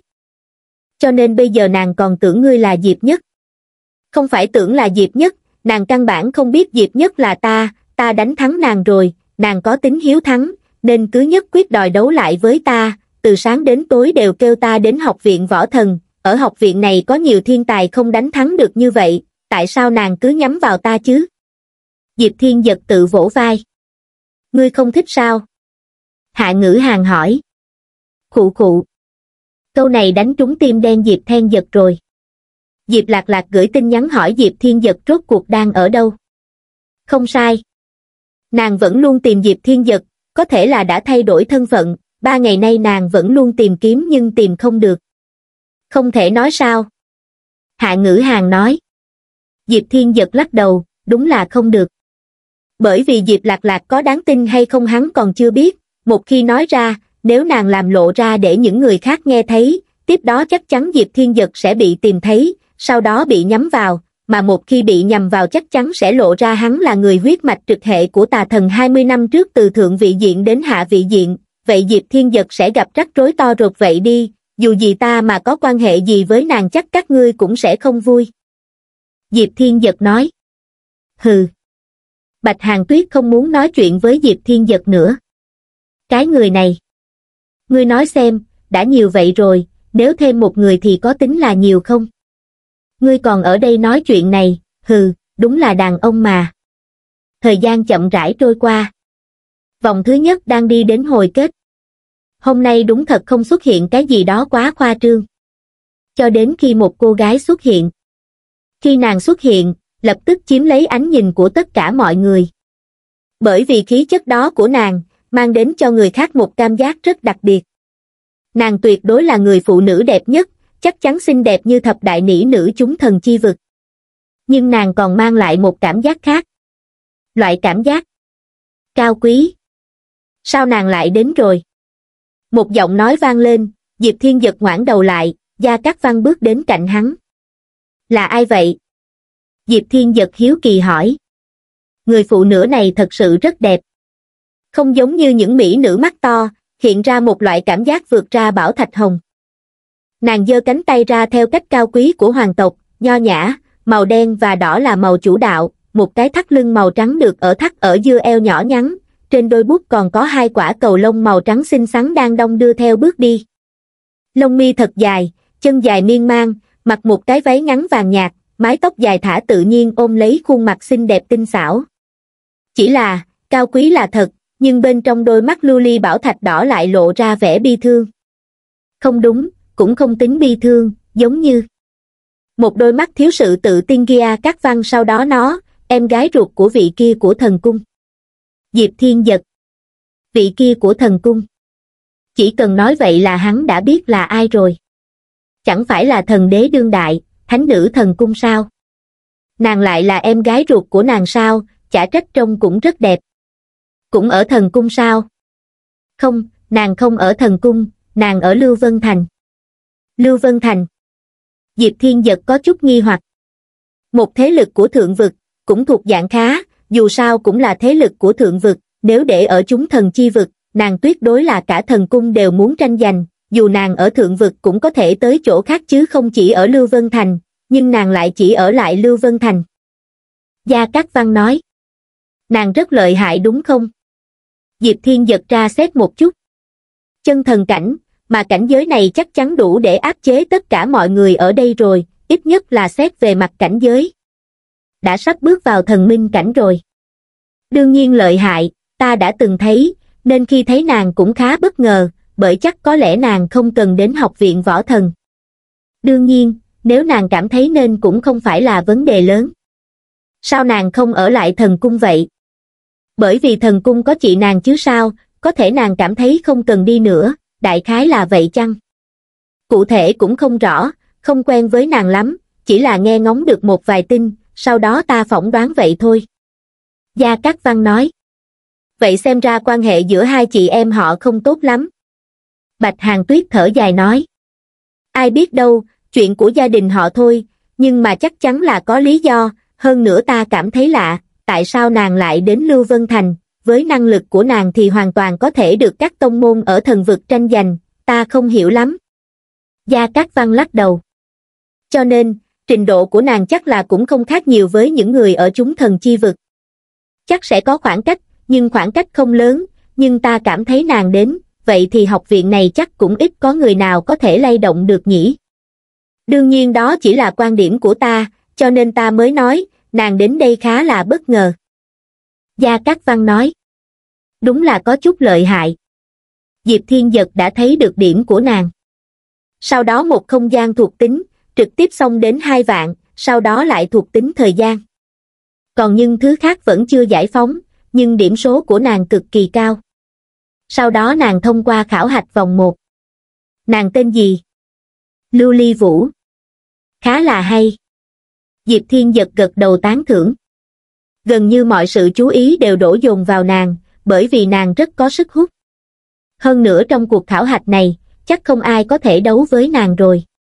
Sau khi khảo hạch vòng thứ nhất xong thì nàng trốn ở một góc, nhốt mình ở một gốc cây, không phát ra tiếng động, chính là an tĩnh quan sát những người khác khảo hạch. Y nhân tuyết đến bên cạnh Diệp Thiên Giật. Diệp Thiên Giật này có chút ma lực đấy. Rõ ràng là những người phụ nữ đó đều rất cao quý, không dễ tiếp xúc, đều là những nam sinh chủ động gần gũi với họ, nhưng họ lại chủ động gần gũi với Diệp Thiên Dật. Nhưng chắc là do họ nghĩ Diệp Thiên Dật có quan hệ tốt với họ, có thể tính là bạn tốt, họ đến bắt chuyện là một chuyện rất bình thường. Nàng sẽ là đối thủ lớn mạnh của ngươi. Y nhân tuyết nói. Ừm, ta cũng có để ý đến. Diệp Thiên Dật gật đầu. Giao tịch cũng đến. Mà nhìn cảnh này, những người khác cảm thấy vô cùng khó chịu. Mẹ ta ơi, mỹ nữ ở học viện này sao đều đến gần Diệp Thiên giật hết rồi. Còn Tiêu Tích Linh, tuy là nàng không qua, thậm chí là không đến, nhưng suy cho cùng, lúc trước quan hệ cửa họ cũng rất tốt. Một ngày khảo hạch đã trôi qua. Hôm nay cũng thăng cấp 30 người. Bây giờ ta xin tuyên bố, khảo hạch kết thúc, điểm khảo hạch cao nhất là Lưu Ly Vũ. Mọi ánh mắt đều nhìn về phía Lưu Ly Vũ. Lưu Ly Vũ bước ra, nàng vẫn không tin được chuyện này. Ta sao? Nàng tự chỉ mình, sau đó hỏi vị trưởng lão bên kia. Đúng vậy, hạng nhất của khảo hạch hôm nay là ngươi, đây là huy hiệu của ngươi. Sau đó Lưu Ly Vũ nhận lấy huy hiệu. Cảm ơn. Nàng nói khẽ, sau đó nhìn lướt qua mọi người xung quanh bằng đôi mắt xinh đẹp của mình, thật sự vẫn còn không tin nổi mình lại có thể giành được hạng nhất trong cuộc khảo hạch ngày hôm nay. Hình như nàng có chút không thể tin được mình lại giành được hạng nhất. Diệp Thiên Giật nói. Đúng đó, thật kỳ lạ. Bạch Hàng Tuyết cũng không hiểu nổi. Theo lý mà nói, đây không phải chuyện bình thường sao, sau đó vị trưởng lão nhìn về phía mọi người nói, sáng mai 6 giờ sáng, các học sinh của học viện đến tập trung ở quảng trường số 1, tham gia khai giảng, nhớ đừng quên, ngày mai không đến trực tiếp bị loại ra khỏi học viện, được rồi, bây giờ mọi người giải tán. Sau đó mọi người rời đi. Ngươi qua ký túc ngươi xem thử đi. Thấy Diệp Thiên giật lại muốn cùng họ đi, Bạch Hàng Tuyết nói. Gì vậy, chê ta rồi sao? Bạch Hàng Tuyết lắc đầu, không phải, trong ký túc của ngươi vẫn còn hai người, có thể sẽ trở thành bạn tốt của ngươi, ngươi quá ít bạn, nên đi làm quen chút, dù gì mấy ngày nay ngươi cũng không về ký túc rồi, nhỡ đâu người ta có ý kiến gì thì sao? Diệp Thiên Giật gật đầu, cũng được, vậy ta đi xem xem. Nói xong Diệp Thiên Giật đi về ký túc của mình. Ký túc của học viện này đúng là khoa trương đó, mấy tòa nhà cao tầng, được xếp kín vào nhau, phân ra ký túc nam, nữ, mỗi người một phòng, đến bây giờ, Diệp Thiên Giật không biết sơn phong của học viện là dùng cho việc gì. Rất nhanh, Diệp Thiên Giật đi đến ký túc số 1, tầng 40, phòng 1401. Lấy chìa khóa ra đi vào. Cách trang trí bên trong cũng khá là lộng lẫy. Ồ, có người đến rồi à? Có một tiếng truyền ra. Diệp Thiên Giật nhìn vào, một người thanh niên có hơi gầy bước đến, xem ra có chút cà lơ phất phơ, miệng đang ngậm điếu thuốc. Sau đó, khi thấy Diệp Thiên Giật thì lập tức thu lại vẻ cà lơ phất phơ đó. Diệp Thiên Giật. Hắn ngơ ngác nhìn Diệp Thiên Giật. Mẹ nó, Diệp Thiên Giật. Sau đó hắn có hơi kích động. Chính là cảm giác lúc đầu học sinh rất nghịch ngợm, sau khi thầy giáo vào thì sự nghịch ngợm đó bông trở nên yên tĩnh. Chính là cảm giác này. Ngươi là? Diệp Thiên Giật hỏi. Hắn lập tức giơ tay ra, đôi tay nắm lấy cánh tay của Diệp Thiên Giật, ngô nhất, Diệp ca, ta là fan cứng của ngươi đó. Diệp Thiên Giật. Đừng, không đến mức vậy đâu. Diệp Thiên Giật vội nói. Bởi vì đây không phải học viện khác, hay tông môn gì đó, có thể vào được đây, vậy chắc chắn đều rất phi phàm, phan gì đó, thần tượng gì đó, tóm lại là ngô nhất này cũng là một cao thủ. Không nằm ngoài dự đoán của Diệp Thiên Giật, ra xem chút, cảnh giới của hắn là thất phách cảnh thất giai, đã sắp bước vào chân thần cảnh, là một thiên tài cường giả. Đến chứ, đến chứ, ôi mẹ ta ơi! Ta đã nghe nói về ngươi rất lâu rồi, luôn muốn gặp ngươi, cảm thấy có thể ngươi sẽ đến học viện võ thần, nên ta đến xem thử, nào ngờ lại được ở chung một ký túc. Ngô Nhất cười cười, sau đó đưa Diệp Thiên Giật điếu thuốc. Diệp Thiên Giật nhận lấy. Không cần thế. Diệp Thiên Giật châm điếu thuốc nói. Hì hì, ta thật sự rất sùng bái người, ngồi đi ngồi đi. Sau đó hắn lôi Diệp Thiên Giật đến sofa. Một người còn lại đâu? Diệp Thiên Giật hỏi. Ở trong phòng, chính là người lúc trước khảo hạch cùng ngươi. Ồ! Diệp Thiên Giật cau mày. Ai cơ? Gã có thuộc tính một rất lợi hại đó, nhưng hắn rất kỳ lạ, ta làm quen với hắn nhưng hắn cũng chỉ gật đầu, hôm nay cũng là ngày đầu tiên nói chuyện, sau đó hắn không ra khỏi phòng luôn, chắc là đang tu luyện. Ngô Nhất nói. Diệp Thiên giật xoa cầm. Người này lại ở cùng ký túc với hắn, bởi vì Diệp Thiên giật khả hứng thú với người này. Nào, đi tham quan một vòng, đi hỏi thăm cái nào. Sau đó Diệp Thiên giật tùy tiện đi dạo một vòng. Đây là phòng của ta à? Diệp Thiên giật hỏi, còn đây là phòng của ta. Ngô Nhất gật đầu. Diệp Thiên giật vào trong xem thử. Sau đó, giấy vệ sinh đầy sàn, trong thùng rác cũng đầy giấy vệ sinh rồi. Khụ khụ. Tên ngô nhất đó ngại chết đi được. Khụ khụ, cảm, cảm rồi, sổ mũi. Sau đó hắn vội vàng nhét giấy vệ sinh vào thùng rác. Giỏi thật. Diệp Thiên giật nhịn không được giơ ngón tay cái cho hắn một like. Cũng may hắn là người có cảnh giới cao, nếu không ai mà chịu được chứ. Diệp Thiên giật, hì hì, có quen với em gái xinh đẹp nào không, giới thiệu cho ta một cô đi. Ngô Nhất cười hì hì. Ngươi thiếu bạn gái sao? Diệp Thiên giật nhìn hắn. Thân là một thiên tài đỉnh cấp, cảnh giới lại cao như vậy, cho dù không đẹp trai, cũng không khó tìm bạn gái, huống hồ hắn lại còn khá ưa nhìn. Đây là, muốn kiếm một người thật xinh đẹp mà. Dựa vào điều kiện của ngươi, kiếm một người xinh đẹp cũng không khó. Diệp Thiên Giật nói. Người đẹp ở thành phố này có rất nhiều. Trên thế giới này, không bao giờ thiếu người đẹp, ôi chao, nhưng ta muốn tìm một võ giả, ta biết trong thành phố có rất nhiều mỹ nữ, nhưng thiên phú của họ không cao, hơn nữa đều là người thường, nếu yên đương với họ thì được bao lâu? Ta muốn tìm một người vừa đẹp, thiên phú vừa cao, có thể đi cùng ta thật lâu thật lâu cơ. Diệp Thiên giật cười thầm. Nói vây cũng rất có lý. Nếu hắn nói là thật, thì nhân phẩm của người này cũng khá được. Bởi vì rất nhiều người sẽ không nghĩ như vậy, họ cảm thấy sẽ chơi đùa một chút lúc ngươi đang đẹp nhất. Còn hắn thì lại muốn đồng hành suốt đời. Thật sự xin lỗi, ngươi đẹp ta quen đều là bạn gái ta, ta không thể giới thiệu cho ngươi được. Diệp Thiên Giật nói. Ngầu. Ngô Nhất nhịn không được giơ ngón cái cho Diệp Thiên Giật một like. Mẹ nó, đây là hơi bị ngầu luôn đó. Cho nên, việc này ta không giúp được rồi. Diệp Thiên Giật cười vỗ vai hắn. Không không không, vẫn còn cơ hội, ngươi xem hai ta cũng có duyên đúng không? Ừm. Gái đẹp của học viện này không ít, Diệp ca, ngươi cứ theo đuổi một người cho ta, sau này người anh em này sẽ báo đáp ngươi. Sau đó Ngô Nhất cười hi hi đưa một chiếc nhẫn cho Diệp Thiên Giật. Diệp ca, mời thu nhận. Ôi đệt, Thứ bên trong đúng là không tệ. Tên Ngô Nhất này chắc chắn không đơn giản. Ít nhất không phải là không có thế lực đằng sau. Hay là thôi đi. Diệp Thiên Giật hỏi, lỡ như việc này ta không giúp được, ta thu nhận đồ của ngươi cũng không được ổn cho lắm. Vậy xem như quà gặp mặt thôi, Diệp ca nhận đi mà, người nhận đi cho ta vui. Ngô Nhất nhìn Diệp Thiên Giật, chân thành nói. Mẹ kiếp, mình từ lúc nào có một phan não tàn cớ độ này rồi vậy? Vậy ta không khách sáo nữa. Ha ha ha Diệp ca đừng khách sáo, ta đây rất phóng khoáng. Diệp Thiên Giật gật đầu. Thật ra có thể tuổi hắn lớn hơn Diệp Thiên Giật chút. Nhưng hắn vẫn gọi Diệp Thiên Giật là Diệp ca, điều này khiến hắn rất thích thú. Diệp Thiên Giật không cần người khác gọi là ca, bởi vì không cần thiết, hắn lớn tuổi hơn, kêu hắn là ca cũng được. Nhưng một người, hắn không quan tâm đến điều này, hắn chủ động kêu người hát là ca, tính cách này khiến người ta rất thích. Được, vậy để ta xem, nếu ngươi ưng bé nào đó nói với ta, nếu ta giúp không được thì cũng đành chịu. Đi thôi, xem bạn cùng ký túc nào. Sau đó Diệp Thiên Giật đi ra ngoài. Ngô Nhất đi theo Diệp Thiên Giật. Hai người họ ở trước cửa.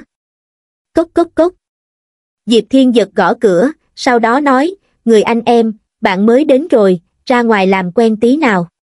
Trong phòng, hắn mở mắt ra, thở dài một hơi sau đó đi ra cửa.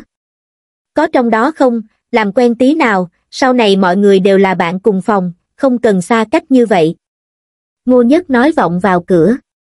Cạch cửa bị hắn mở ra rồi. Diệp Thiên giật nhìn bóng người trước mặt. Chết tiệt, hắn thực sự rất trắng.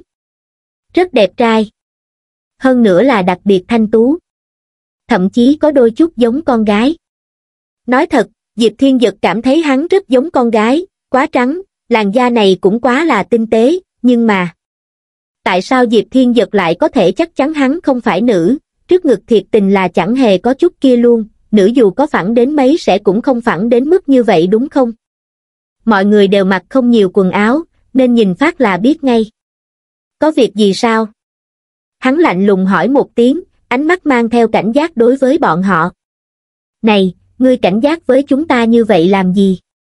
Bọn ta không có ác ý đối với ngươi. Ngô Nhất vừa nói xong rung chân đưa cho hắn một điếu thuốc. Không, cảm ơn. Hắn lắc đầu từ chối. Không có việc gì vậy ta đi tu luyện. Trầm, nói xong hắn đóng cửa lại. Diệp ca, ngươi xem, hắn kỳ lạ quá đi. Diệp Thiên giật gật đầu, ừm, rất kỳ quái, nhưng cũng bình thường thôi. Bởi vì Diệp Thiên giật biết rất nhiều người đều là như thế này, bọn họ không thân thiện với người khác, thậm chí một câu cũng lười nói chuyện, tuy nhiên, biểu hiện thế này chỉ là ở một số ít cô gái lạnh lùng, nam giới kiểu thờ ơ mà Diệp Thiên giật biết cũng không lạnh nhạt đến mức như vậy. Nhưng mà trên đời này kiểu người nào mà chả có. Đi thôi, nếu hắn không muốn dây dưa với chúng ta, chúng ta cũng đừng tìm hắn. Diệp Thiên giật gật đầu. Mỗi người đều có câu chuyện của riêng mình, người này khẳng định là có chuyện gì đó. Hai người bọn họ ngồi ở trên sofa, trước mặt có nồi lẩu, vừa hút thuốc vừa uống rượu rồi bắt đầu khoe khoang. Diệp ca, thật ra, ta thực sự đang thích một cô gái, ngươi giúp ta một chút được không? Diệp Thiên giật nhìn về phía hắn. Ai thế? Nàng tên là Tần Nguyệt, ngươi xem nè. Sau đó hắn lấy ra bức cái ảnh của nàng để ở trước mặt Diệp Thiên Giật. Diệp Thiên Giật nhìn thoáng qua. Là một mỹ nữ. Rất xinh đẹp.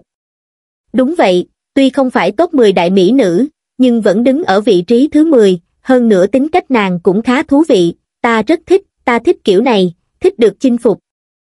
Diệp Thiên Giật. Trong lòng cái tên ngô nhất này sẽ không che giấu cái. Cái ý tưởng kia chứ, ta chỉ có thể nói, ngươi có gì không hiểu ta có thể giúp ngươi, hoặc là ta có thể chỉ cho ngươi cách tiếp cận, đúng rồi, nàng thích đi ba không? Sao ngươi biết? Diệp Thiên giật nhìn bức ảnh này, nói, có thể nhìn thấy cách ăn mặc này giống như ở trong ba, nếu lần sau nàng đi ba ngươi nói cho ta, ta phối hợp với ngươi, xem có thể thành công không, nếu không có gì đặc biệt xảy ra, ta có thể giúp ngươi trò chuyện linh tinh đôi chút, ta cũng đâu có trâu bò tới mức đi qua cái là nàng chịu làm bạn gái ngươi luôn, đúng không? Được, được. Ta sẽ chú ý, à, đúng rồi, 10 người đẹp mà ngươi đang nói tới là có những ai? Diệp Thiên Giật tò mò hỏi. Mặc dù xung quanh Diệp Thiên Giật cũng có rất nhiều em gái xinh đẹp, nhưng mà... Hắn cũng thực là có chút muốn nghe ngóng mấy tin tức kiểu này, ha ha, hơn nữa Diệp Thiên Giật muốn biết xem rốt cuộc là tình huống gì. Chính là tốt, 10 mỹ nhân đứng đầu trong số 2 vạn học viên của học viện võ thần chúng ta đấy, đây là do đại đa số học viên bình chọn, chắc chắn sẽ không hề có gian lận gì, nhiều phiếu nhất chính là hạng cao nhất. Ồ! Ai là số 1? Chờ một chút, ta xem thử. Bởi vì số phiếu sẽ thay đổi từng ngày, khả năng hôm nay người này bình chọn cho người này, ngày mai sẽ lại bình chọn một người khác. Sau đó ngô nhất một lấy ra một cái máy tính bảng, không thể nào, tuy rằng học viện võ thần mới vừa khai giảng không bao lâu, nhưng loại chuyện này là chuyện mà bất kỳ nam sinh nào đều hứng thú, khả năng sẽ có nam sinh nào đó cảm thấy loại chuyện này thật là ấu trĩ, nhưng có thể sau lưng lại âm thầm bình chọn cho ai đó, thậm chí lôi kéo những người mình quen biết bầu chọn cho nàng. Chuyện này cũng rất bình thường, bởi vì có rất nhiều người đẹp, có lẽ những người bình chọn cho họ đều là những người theo đuổi họ. Để ta nhìn xem. Đệ nhất mỹ nhân. Lưu Ly Vũ. Diệp Thiên giật nghĩ tới cô gái ngày đó. Nàng thực sự vô cùng xinh đẹp. Đối với Diệp Thiên giật, hẳn là cùng cấp với những cô vợ bé nhỏ của hắn. Tuy nhiên, Lưu Ly Vũ có một điểm đặc biệt. Chính vì thế lúc đó Diệp Thiên Giật mới phá lệ chú ý, đôi mắt của nàng có màu đỏ như hồng ngọc rất đẹp, vẻ đẹp đặc biệt, càng làm tăng sự hấp dẫn của nàng. Sau đó Diệp Thiên Giật nghiêng người về phía trước. Vị trí thứ hai là Tiêu Tích Linh. Vị trí thứ ba, Y Nhân Tuyết. Nói thế nào nhỉ, bảng xếp hạng này quả thực rất công bằng. Tuy Bạch Hàng Tuyết và Hạ Ngữ Hàng đều rất xinh đẹp, nhưng các nàng rốt cuộc so danh tiếng thì không thể bằng bọn họ, hơn nữa cũng không có bối cảnh đặc biệt. Y nhân tuyết, tiêu tích linh các nàng đều rất nổi danh, các nàng nằm trong bảng xếp hạng này rất bình thường. Sau đó vị trí thứ tư, giao tịch, giao tịch cũng không vấn đề gì, tuy nàng ở hạ vực, nhưng danh tiếng của nàng cũng lớn, mọi người phần lớn đều biết đến nàng, hơn nữa nàng là tiểu thư khuê cát, khí chất cũng là kiểu đàn ông rất thích. Thứ năm là Bạch Hàng Tuyết, thứ sáu là Hạ Ngữ Hàng, này cũng rất ok la, thật ra trong mấy cô gái này, ngoài Lưu Ly Vũ khá đặc biệt ra, những người còn lại lọt vào bảng xếp hạng mỹ nữ này đều rất dễ hiểu, chỉ khác nhau là phiếu bầu nhiều hay ít mà thôi. Người thứ bảy là Diệp Lạc Lạc. Diệp Lạc Lạc là rất xinh đẹp. Nhưng vì sao nàng chỉ xếp ở vị trí thứ bảy, thật ra cũng là do cảm nhận chung của cánh đàn ông thôi. Xét đơn giản về mặt nhan sắc thì quả thật là mỗi người một vẻ mười phân vẹn mười, nhưng Diệp Lạc Lạc là kiểu mạnh mẽ, đối với cánh đàn ông mà nói, Diệp Lạc Lạc không nữ tính bằng những người còn lại. Bao gồm cả chuyện nàng rất ít khi mặc váy, ngươi nói xem, nàng có xinh đến mấy đi nữa, nhưng mà vẫn sẽ cứ thiếu thiếu một cái gì đó, cho nên mới bị xếp ở phía sau như vậy. Nhưng dù sao vẫn có gương mặt vớt lại, không mặc váy nhưng mặc đồ bình thường cũng đã xinh lắm rồi. Nếu một ngày nào đó nàng mà mặc váy, chắc là phải đẹp lắm đây. Đẹp. Cái gì? 15 tuổi. Diệp Thiên Giật đột nhiên nhìn thấy phần giới thiệu của một cô gái xếp thứ 8 trong bảng xếp hạng. Thậm chí còn chưa cả nhìn ảnh, mà nhìn cái dòng chữ 15 tuổi này đã thấy. Trời ạ, không thể tin nổi, các đại ca à. Người ta mới 15 tuổi đó, còn chưa dậy thì xong đâu, các ngươi đã đưa người ta vào vị trí thứ 8 trên bảng xếp hạng mỹ nữ rồi, đệt, không thể tin nổi, Long Bảo Nhi. Diệp Thiên Giật nhìn tên của nàng, cái tên nghe có vẻ khá lợi hại đấy. Cái tên này tự nhiên làm Diệp Thiên Giật nhớ tới tinh bảo bảo. Wow! Nhớ cô bé đáng yêu tinh bảo bảo quá. Hẳn là giờ nàng đã lớn lắm rồi đây, đáng tiếc Diệp Thiên Giật không thể nhìn thấy, nàng vẫn luôn ở chỗ sư tôn tu luyện, luôn bế quan, Diệp Thiên Giật thật sự rất nhớ nàng. Sau đó Diệp Thiên Giật nhìn ảnh chụp. Wow, kinh ngạc, thật kinh ngạc Diệp Thiên Giật cảm thấy, trong ấn tượng của hắn có rất nhiều bé gái xinh đẹp. Đoan một tiểu tiểu là nhỏ nhất, sau đó còn có một Linh Nhi, còn có tiểu anh Vũ, bất kỳ ai trong bọn họ đều xinh đẹp có chút yêu nghiệt. Giống với tinh linh, Diệp Thiên Giật cảm thấy tiểu anh Vũ và một Linh Nhi cũng được, dẫu sao họ cũng không bình thường, đoan một tiểu tiểu thì mới có 7 tuổi, mà Long Bảo Nhi này. Thật sự cũng xinh đẹp có chút quá đáng rồi. Tấm ảnh này là nàng đi bộ lúc buổi chiều hoàng hôn, bối cảnh là một ngọn núi sau học viện võ thần, đoán chừng là ai chụp lén nhưng thật sự rất tuyệt, tuyệt đến mức Diệp Thiên Dật rất muốn nhìn cô gái nhỏ này ở ngoài đời thật, sau đó đồng thời cũng có thể hiểu tại sao những thằng ngốc này lại xếp một cô gái 15 tuổi vào trong danh sách này, với điều kiện này của nàng, sau này khi trưởng thành sẽ càng quyến rũ hơn nữa. Trên thế giới này, thật sự không thiếu người đẹp. Diệp ca, sao vậy? Long Bảo Nhi này đẹp chứ? Mặc dù tuổi còn nhỏ, nhưng thật sự rất đẹp. Diệp Thiên giật gật gật đầu, đúng, quả thực, nàng là ai vậy? Nói như thế nào nhỉ, mới chỉ có một tấm ảnh mà Diệp Thiên giật đã cảm thấy nàng không đơn giản, nàng tuyệt đối là không phải người của với thế lực bình thường. Cảm giác, nàng rất có linh khí. Có thể có linh khí là vì nàng quá đẹp, đẹp có chút quá đáng. Nhưng, tuyệt đối cũng là do khí chất và cảm giác của cả con người nàng ấy à, thần cung, nhưng hình như không phải người thần cung, bởi vì nàng luôn không có bất kỳ tin tức, tiếng tâm nào ở trước đây, thậm chí đều không biết có sự tồn tại của một người như này, cũng mới được chú ý đến hai, ba năm trước thôi, là ngang trời xuất thế, dù sao nhất định có quan hệ với thần cung. Diệp Thiên giật hơi lưỡng dự. Lại là thần cung. Thần cung này là thực lợi hại. Thần đế đương thời của thần cung, là chị gái của Lưu Ly Vũ, nàng mặc dù không phải ở thần vực, mặc dù thần vực càng thêm mạnh mẽ, nhưng nàng đã là một người, dù cho ở thần vực đều có thể so sánh ngang bằng với vô số thiên tài cấp cao, là người mà bất kỳ một thế lực nào ở thần vực đều muốn giành lấy, ngươi ở chúng thần chi vực thì không có nghĩa là ngươi nhất định thua kém thiên tài của thần vực, chỉ là nói 99% là như vậy. Nhưng nhất định có ngoại lệ, nàng chính là người ngoại lệ đó. Ngươi nói xem, xét về tài nguyên, tài nguyên mà thần cung của chúng thần chi vực đã dùng trên người nàng, tuyệt đối không ít so với các thế lực đỉnh cao của thần vực. Vì vậy nếu tài nguyên đủ, thì sao lại phải thua kém thần vực cơ chứ, vậy sao? Diệp Thiên giật gật gật đầu. Rất nhanh đã đến sáng ngày hôm sau. Tất cả học viên của học viện võ thần đều tập trung đến quảng trường số một khổng lồ này, cũng không có quy tắc vị trí gì, thích đứng ở đâu thì đứng thôi, có thể đúng cùng bất kỳ ai mà mình muốn. Sau đó chính là rất nhiều giáo viên của học viện võ thần lần lượt đi tới. Trước đó học viện võ thần đã ra thông báo, nếu ngày khai giảng hôm nay vắng mặt, thì sẽ bị đuổi ra khỏi học viện võ thần.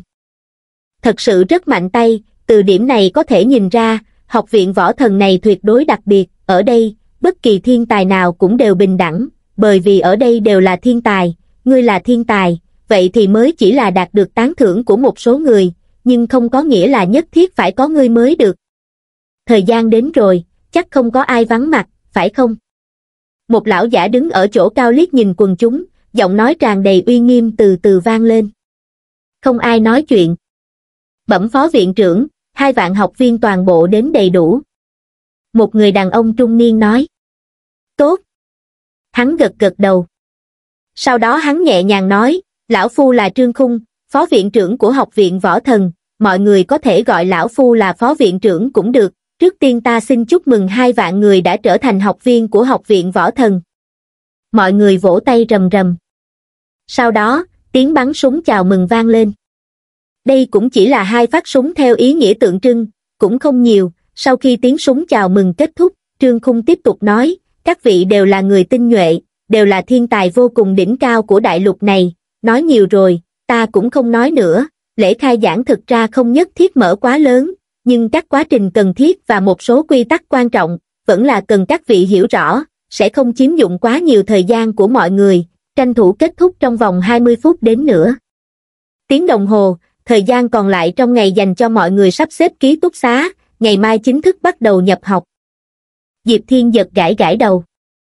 Ký túc xá không phải đã sắp xếp xong rồi sao, sau đó Trương Khung nói, thành lập học viện võ thần, đối với việc giảng dạy mọi người chúng ta chú ý hai chữ, cạnh tranh.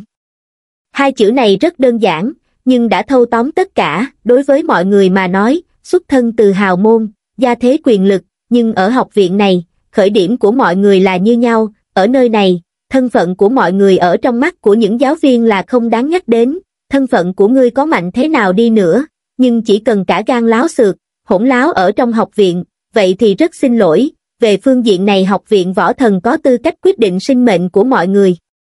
Trước đó mọi người đã ký sinh tử lệnh rồi, trong đó viết rất rõ, mọi người cũng đã đồng ý rồi, những người của thế lực sau lưng mọi người cũng đều biết, mà học viện võ thần cũng không sợ điều gì, đúng vậy, bọn họ quả thực là đã ký cái thứ gọi là sinh tử lệnh ấy.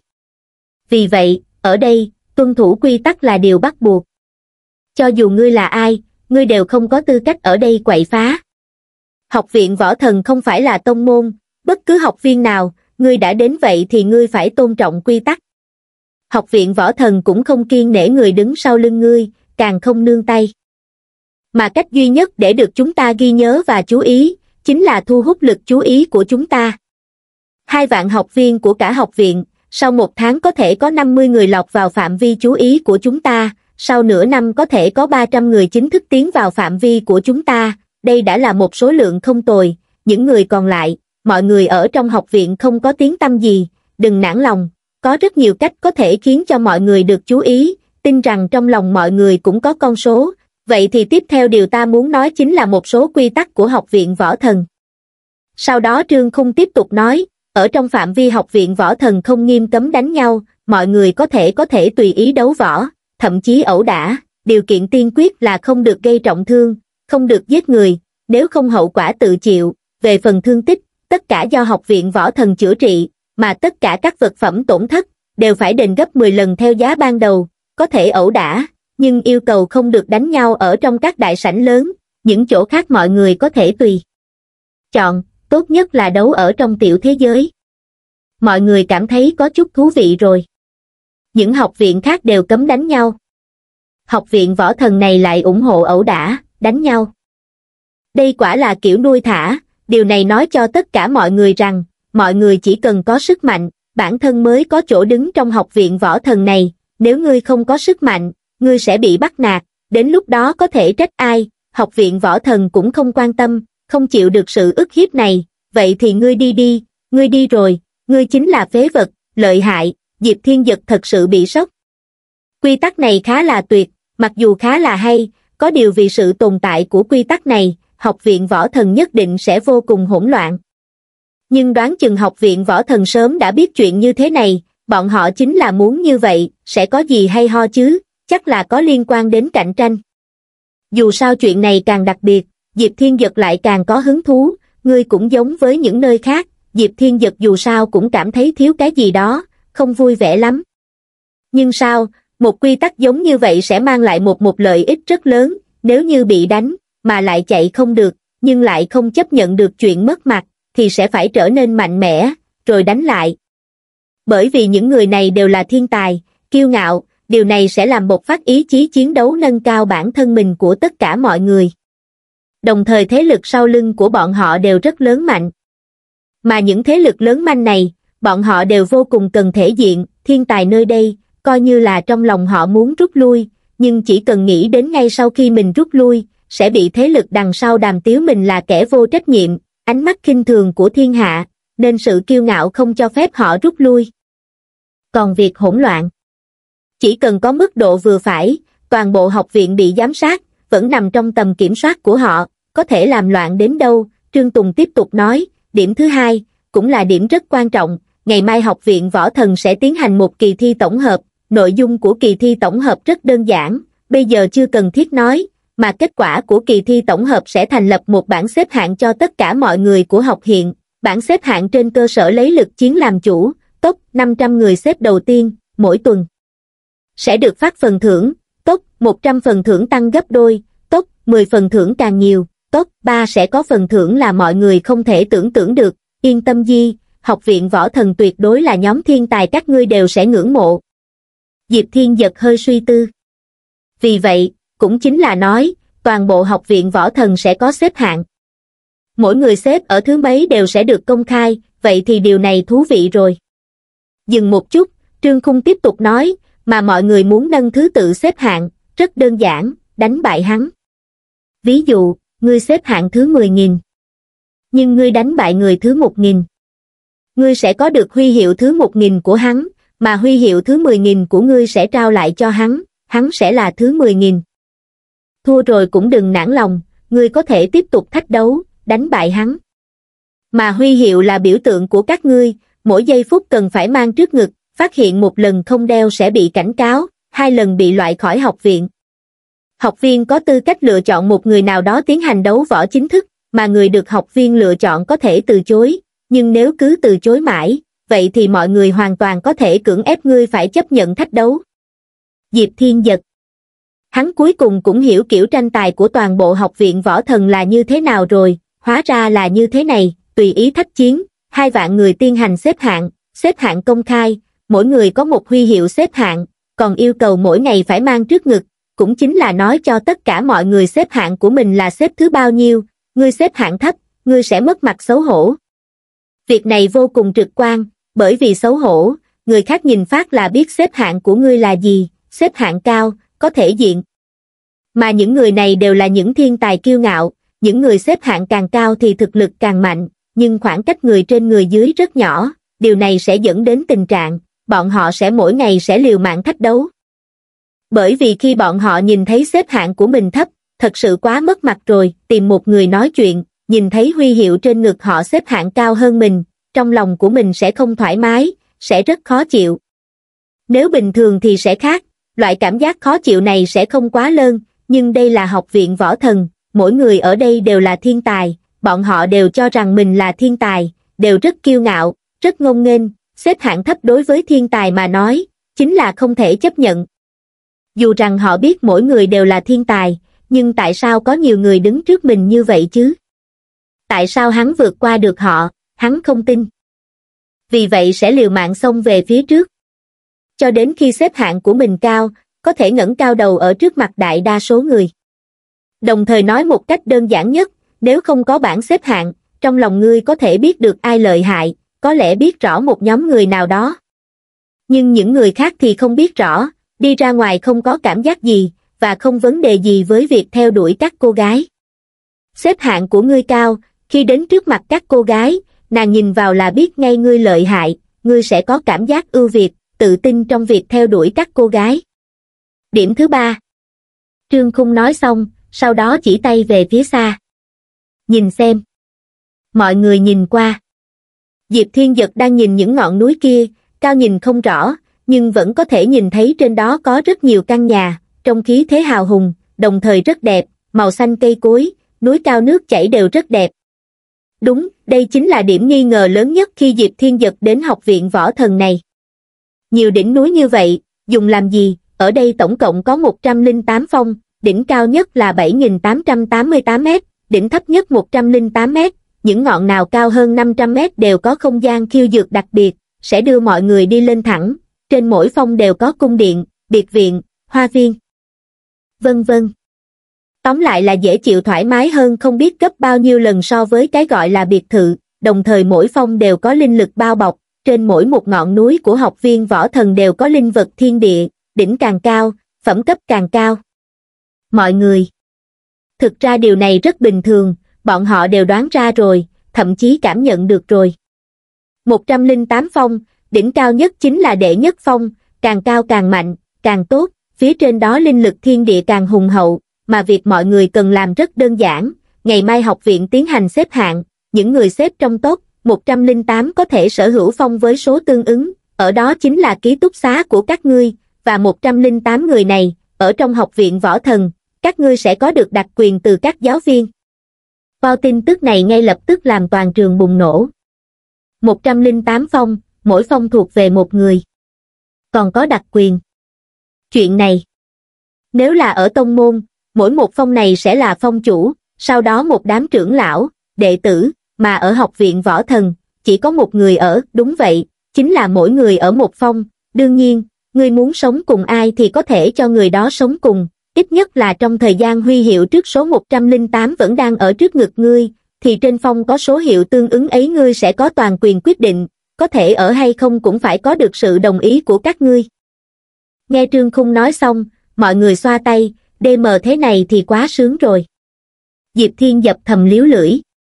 Chết tiệt, thế này không phải khiến những người này liều mạng đi tranh đấu sao? Người của học viện võ thần này lòng dạ thật đen tối, chết tiệt, dù sao Diệp Thiên Dật cũng biết, toàn bộ học viện võ thần này đều là một nhóm cáo già, những quy tắc này nhìn như đơn giản, nhưng đã nắm chắc lòng người. Bọn họ đều là thiên tài, nhưng như thế nào đi nữa cũng là một nhóm người còn trẻ, lòng hư vinh nặng cũng là rất bình thường, nhưng phải xem ngươi hư vinh ở trước mặt người nào nữa. Những người này, ở trước mặt một số người bình thường không thể hư vinh được, bởi vì bọn họ đã đạt được đủ độ cao rồi, bọn họ chỉ có thể hư vinh được trước mặt người cùng cấp hoặc là những người cấp bậc yếu hơn một chút, cảm giác hư vinh đó cũng đủ rồi. Nhưng học viện võ thần chính là một nơi như vậy, ngay từ đầu học viện võ thần chỉ tuyển nhận thiên tài của cấp bậc này, cũng đã thể hiện phần nào cách nghĩ của bọn họ.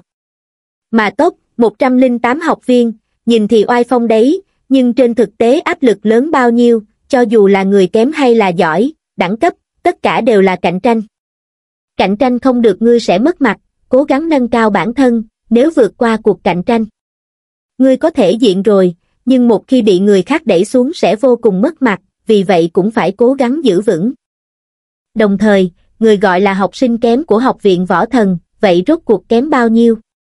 Người kém nhất cũng vô cùng đỉnh rồi. Trương Khung tiếp tục nói, trên mỗi phong có tàn kinh cát, võ kỹ cát, linh khí cát, những phong càng cao càng có nhiều thứ, phẩm cấp cũng càng cao, tuyệt đối là phẩm cấp mọi người có thể sử dụng, những thứ này đều là cung cấp miễn phí cho mọi người, mọi người có thể tùy ý sử dụng, đương nhiên, nhắc nhở trước là không được mang ra khỏi học viện, mà những người xếp sau số 108 muốn được sống ở đó thì rất đơn giản, đánh bại chủ nhân của phong tương ứng, các ngươi chính là chủ nhân mới. Hào hứng. Tất hào hứng, tất cả mọi người đều hào hứng chuẩn bị. Mọi người đã tưởng tượng được loại cảm giác đó, hơn 10.000 người khác đều ở trong ký túc xá của học viện võ thần, mà bọn họ ở trên đỉnh núi nhìn xuống, cái cảm giác nhìn những người khác ngẩng đầu nhìn mình. Đặc biệt là lúc mình xuống núi, ánh mắt người khác nhìn qua đầy ngưỡng mộ. Bao sướng chết đi được, đây chính là cảm giác ưu việt.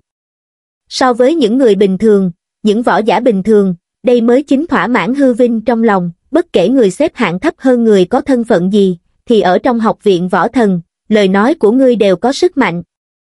Trương Khung tiếp tục nói, một điểm nữa, ở học viện võ thần còn có một quy tắc, quy tắc này các ngươi phải nhớ, ở trong học viện võ thần này, nam nhiều nữ ít, ai cũng đều là thiên tài, nam thì anh Tuấn, phóng khoáng, nữ thì xinh đẹp mê người, đồng thời các ngươi đều là môn đăng hộ đối, tiếp xúc với nhau lâu ngày phát sinh tình cảm tốt cũng là chuyện bình thường, nhưng ở trong học viện võ thần, yêu đương là bị nghiêm cấm. Mọi người Đệt, sau khi Trương Khung nói xong điểu này, mọi người lập tức bùng nổ. Cái gì? Nghiêm cấm yêu đương, khốn nạn.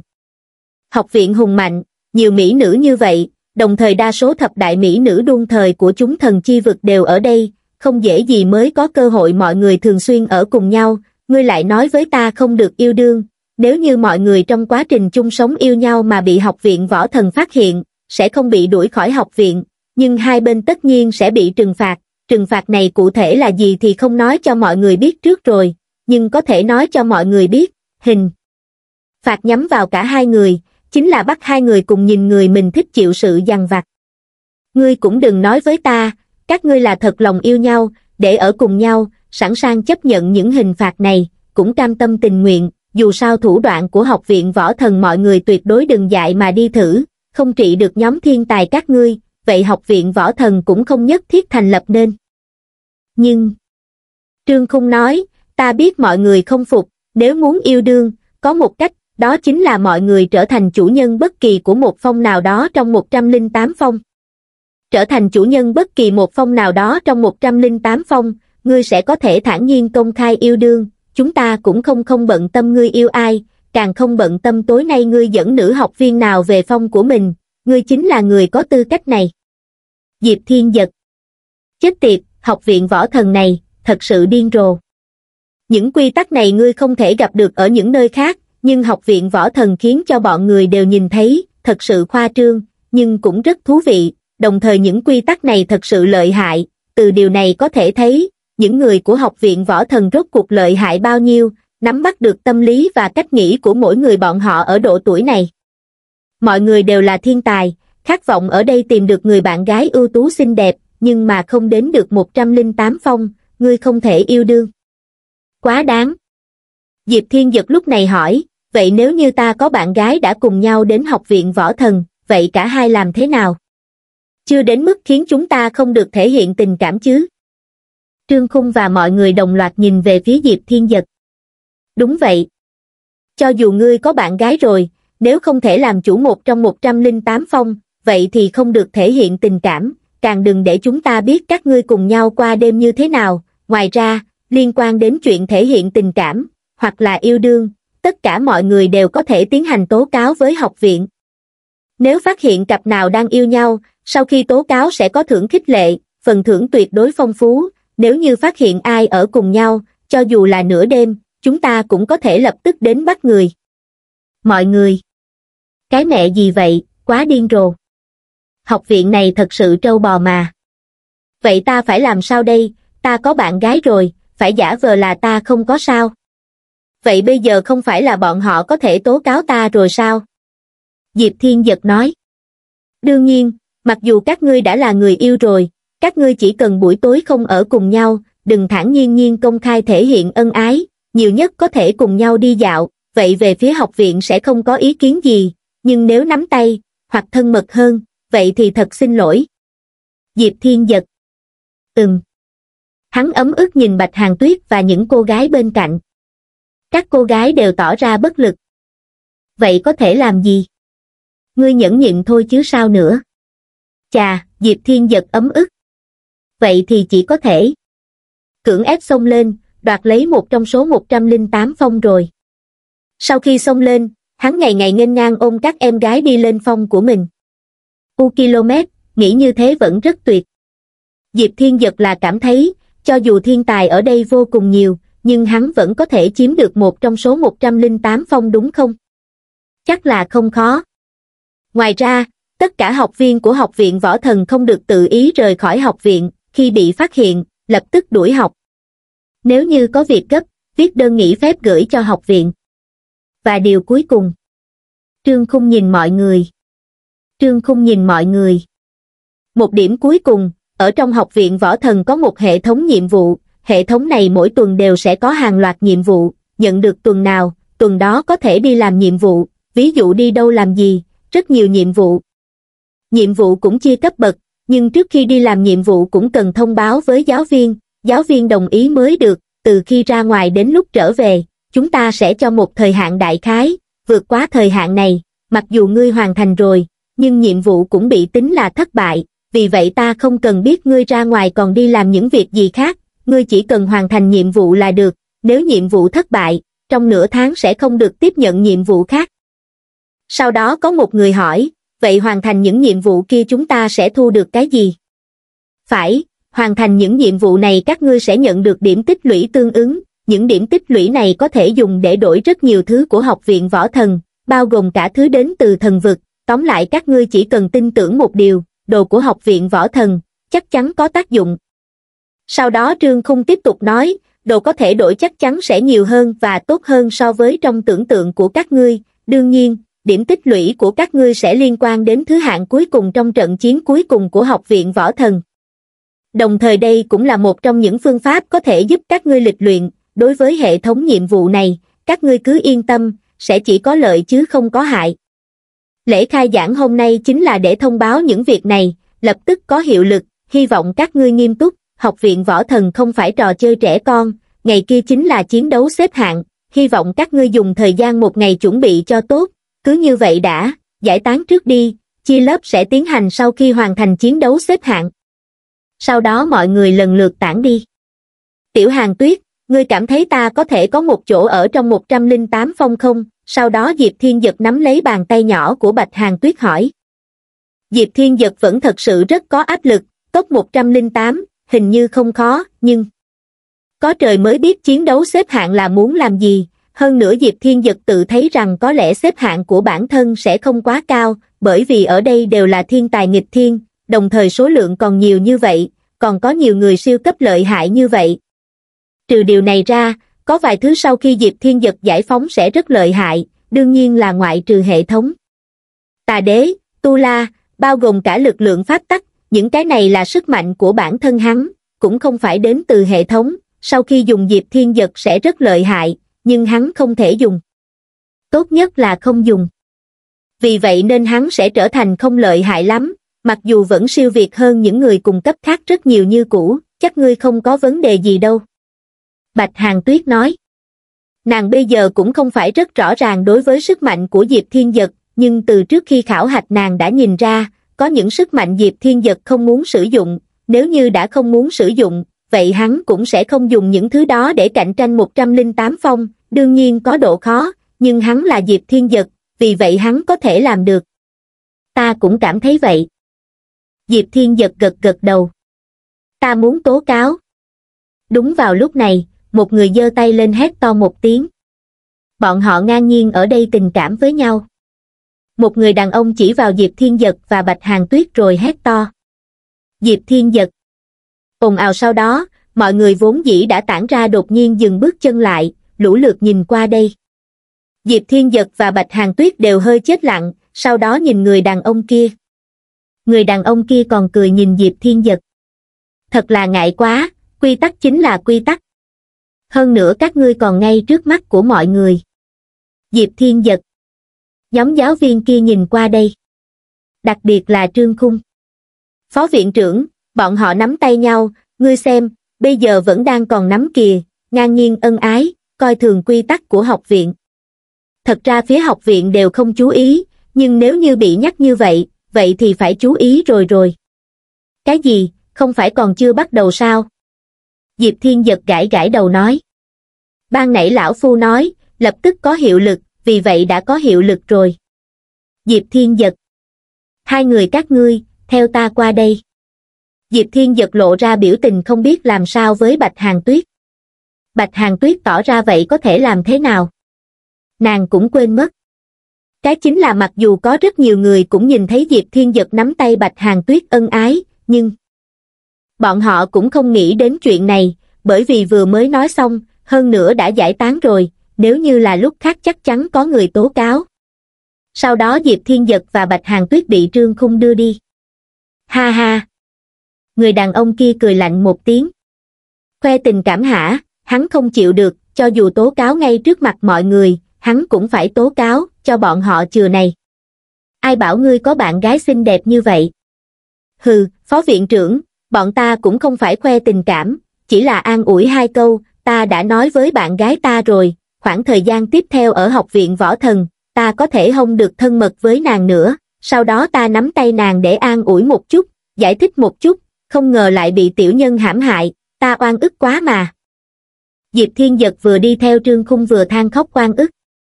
Trương Khung cười một tiếng.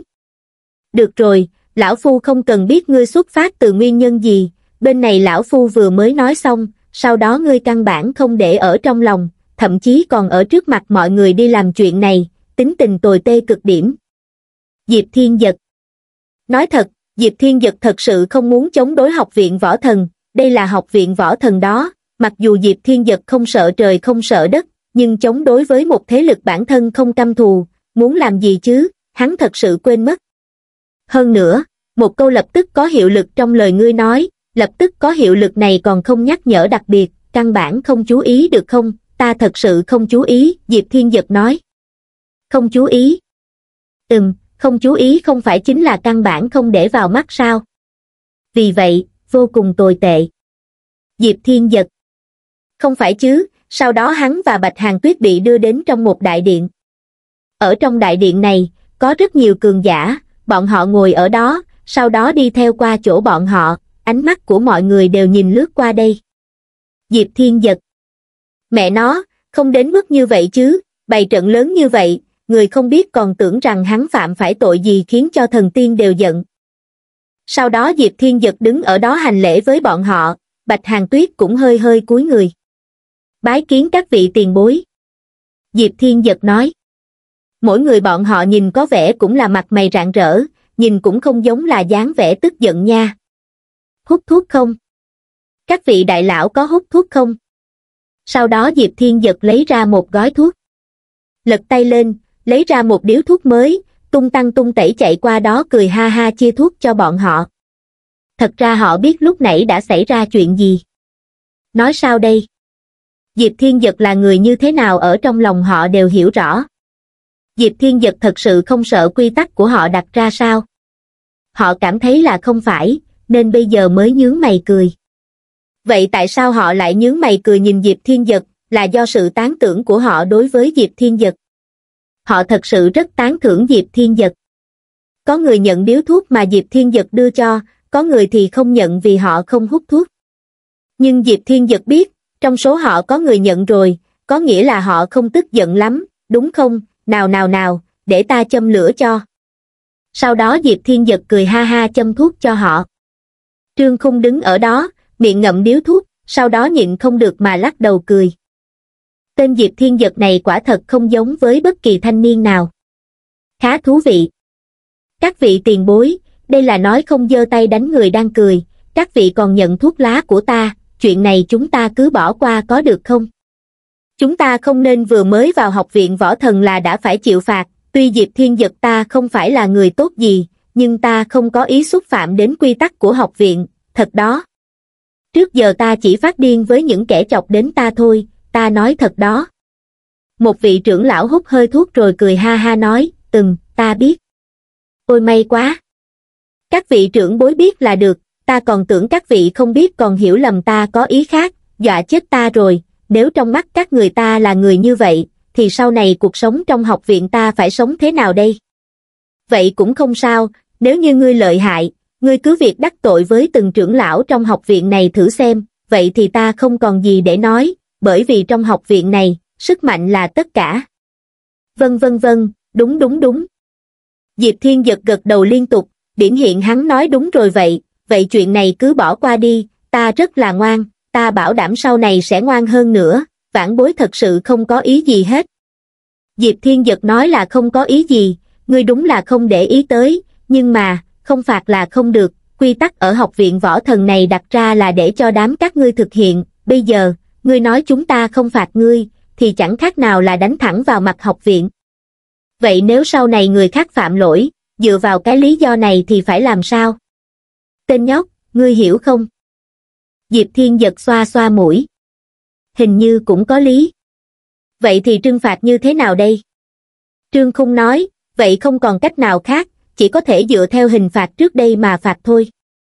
Diệp Thiên giật quất ức thật sự. Nhưng hình như là lỗi của hắn thật. Phạt thế nào? Đi thôi, lão phu dẫn ngươi đi sang phòng bên cạnh làm phục vụ. Diệp Thiên giật. Mẹ kiếp ta ơi, cái học viện võ thần này quá đáng thật. Mẹ nó, thật hay giả vậy. Diệp Thiên giật ngơ ngác luôn rồi. Không phải là trong lời nói còn ý khác chứ, thật đấy, đây là lần trừng phạt đầu tiên, làm nhân viên phục vụ, sau đó sẽ tiết lộ ra bên ngoài coi như làm cảnh cáo cho mọi người. Diệp Thiên Giật Thế này chẳng phải là sau này ai cũng biết Diệp Thiên Giật hắn phải đi làm phục vụ hay sao, cái này đối với thiên tài đỉnh cấp, còn có cả gia thế phía sau mà nói, thật sự là công kích lớn đấy, còn mặt mũi gì nữa đâu. Tuy cái này đối với một người đàn ông thì cũng chẳng có gì quá lắm, nhưng ngươi là thiên tài, người nổi tiếng đó, cái này cũng chẳng khác nào một người bình thường bị bắt thì chẳng ảnh hưởng gì nhiều, còn một minh tinh mà bị bắt thì sẽ bùng nổ luôn. Ác quá vậy. Ngươi tự chọn thôi. Trương Khung cười nói. Diệp Thiên giật chấp vai. Nhưng... Vậy thì thật sự xin lỗi nhé, ta không quan tâm đến những thứ này. Đúng vậy, thế nên đi đi. Diệp Thiên giật ngoãn mặt nhìn Bạch Hàng Tuyết. Vậy có thể không đi, hoặc là chỉ đi cho có chứ không phải làm thật, được không? Bách Hàng Tuyết có cảm giác, phải trơ mắt nhìn bạn trai mình đi làm phục vụ, cái cảm giác này thật khó chịu. Hơn nữa ngươi nghĩ xem, liệu có ảnh hưởng đến tình cảm không, với Diệp Thiên Giật thì chắc chắn không, nhưng những người khác thì không chắc. Ừm. Lần này thì lão phu thấy về mặt tình cảm thì có thể tha thứ, dù sao thì quy tắc cũng là do con người định ra, mà Diệp Thiên Giật cũng chỉ là nói chuyện rồi nắm tay chút với bạn gái, ừm. Về tình cảm thì có thể tha thứ. Trương Khung gật đầu nói. Họ không quan tâm lời Diệp Thiên Giật nói có thật không, dù gì thì họ rất có thiện cảm với Diệp Thiên Giật.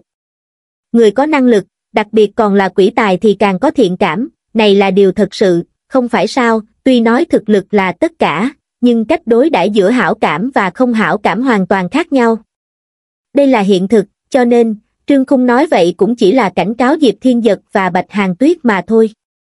Vậy lần này chỉ đi cho có, nhưng mà vẫn cứ phải tuyên bố hình phạt này ra bên ngoài.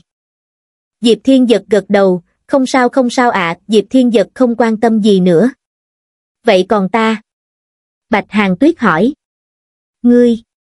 Trương Khung nói, qua công ty kế bên làm nhân viên vệ sinh một ngày, cũng phải dọn cả nhà vệ sinh, đây là hình phạt của ngươi, đồng thời, chuyện này cũng sẽ được học viện truyền ra.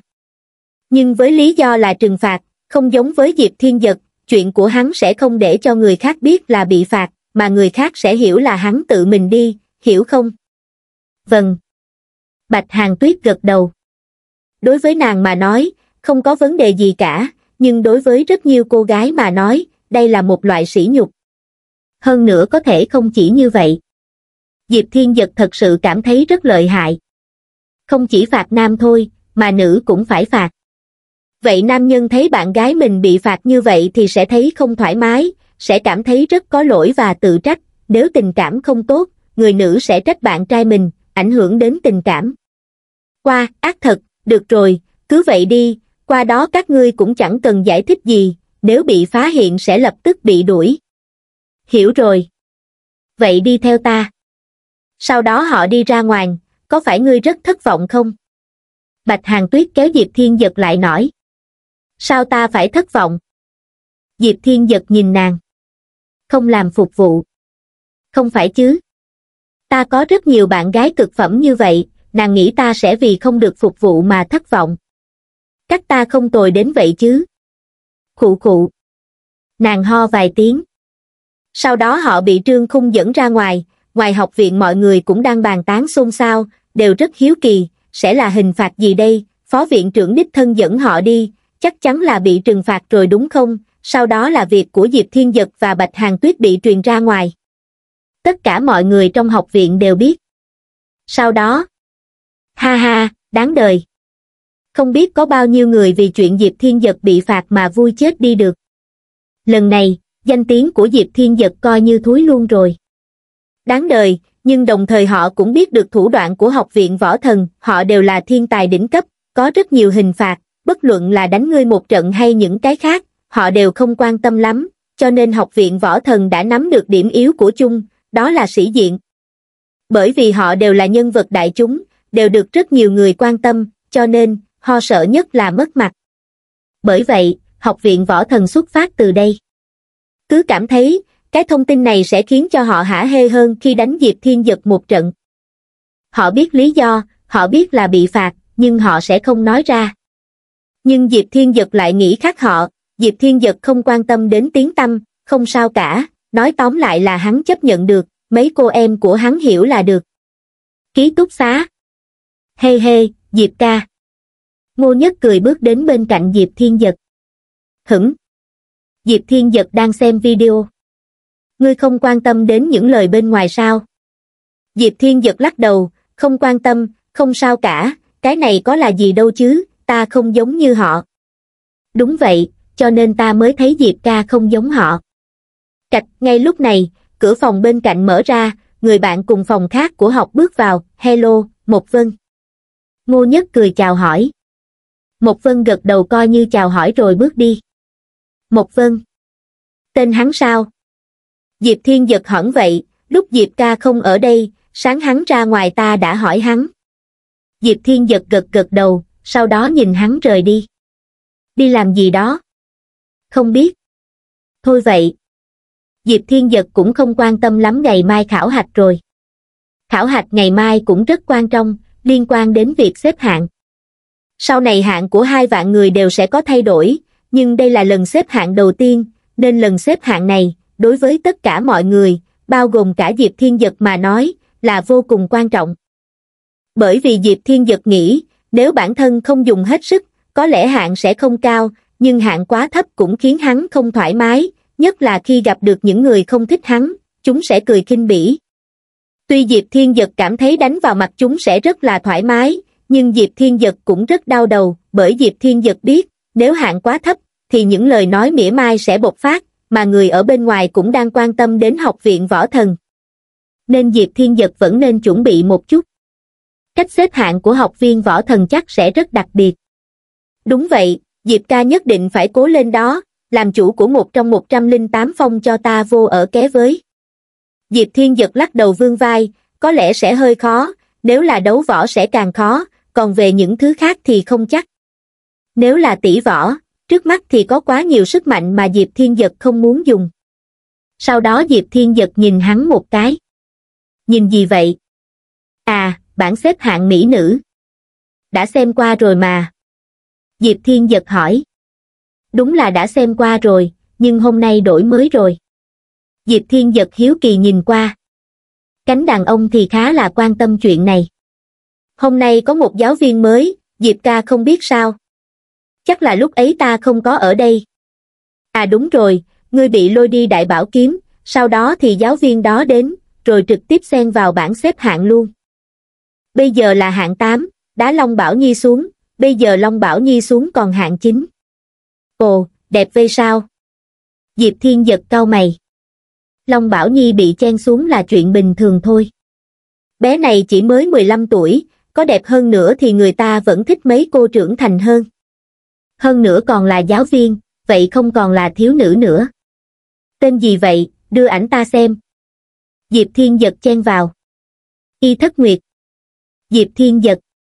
Y Thất Nguyệt. Chắc không phải là lần mình đến thượng vực, đi đến yêu tộc, đi giả dạng thành tiên nhân rồi gặp được quận chủ Y Thất Nguyệt đó chứ. Diệp Thiên Giật có ấn tượng rất sâu sắc với người này, bởi vì nàng rất giống thi gia nhất. Sau đó Diệp Thiên Giật gấp gáp xem thông tin. Mẹ kiếp, thật sự là nàng, đây chính là người giống thi gia nhất, y thất nguyệt phải chứ, nàng có thân phận gì? Sao lại đến học viện này làm giáo viên? Diệp Thiên giật hỏi.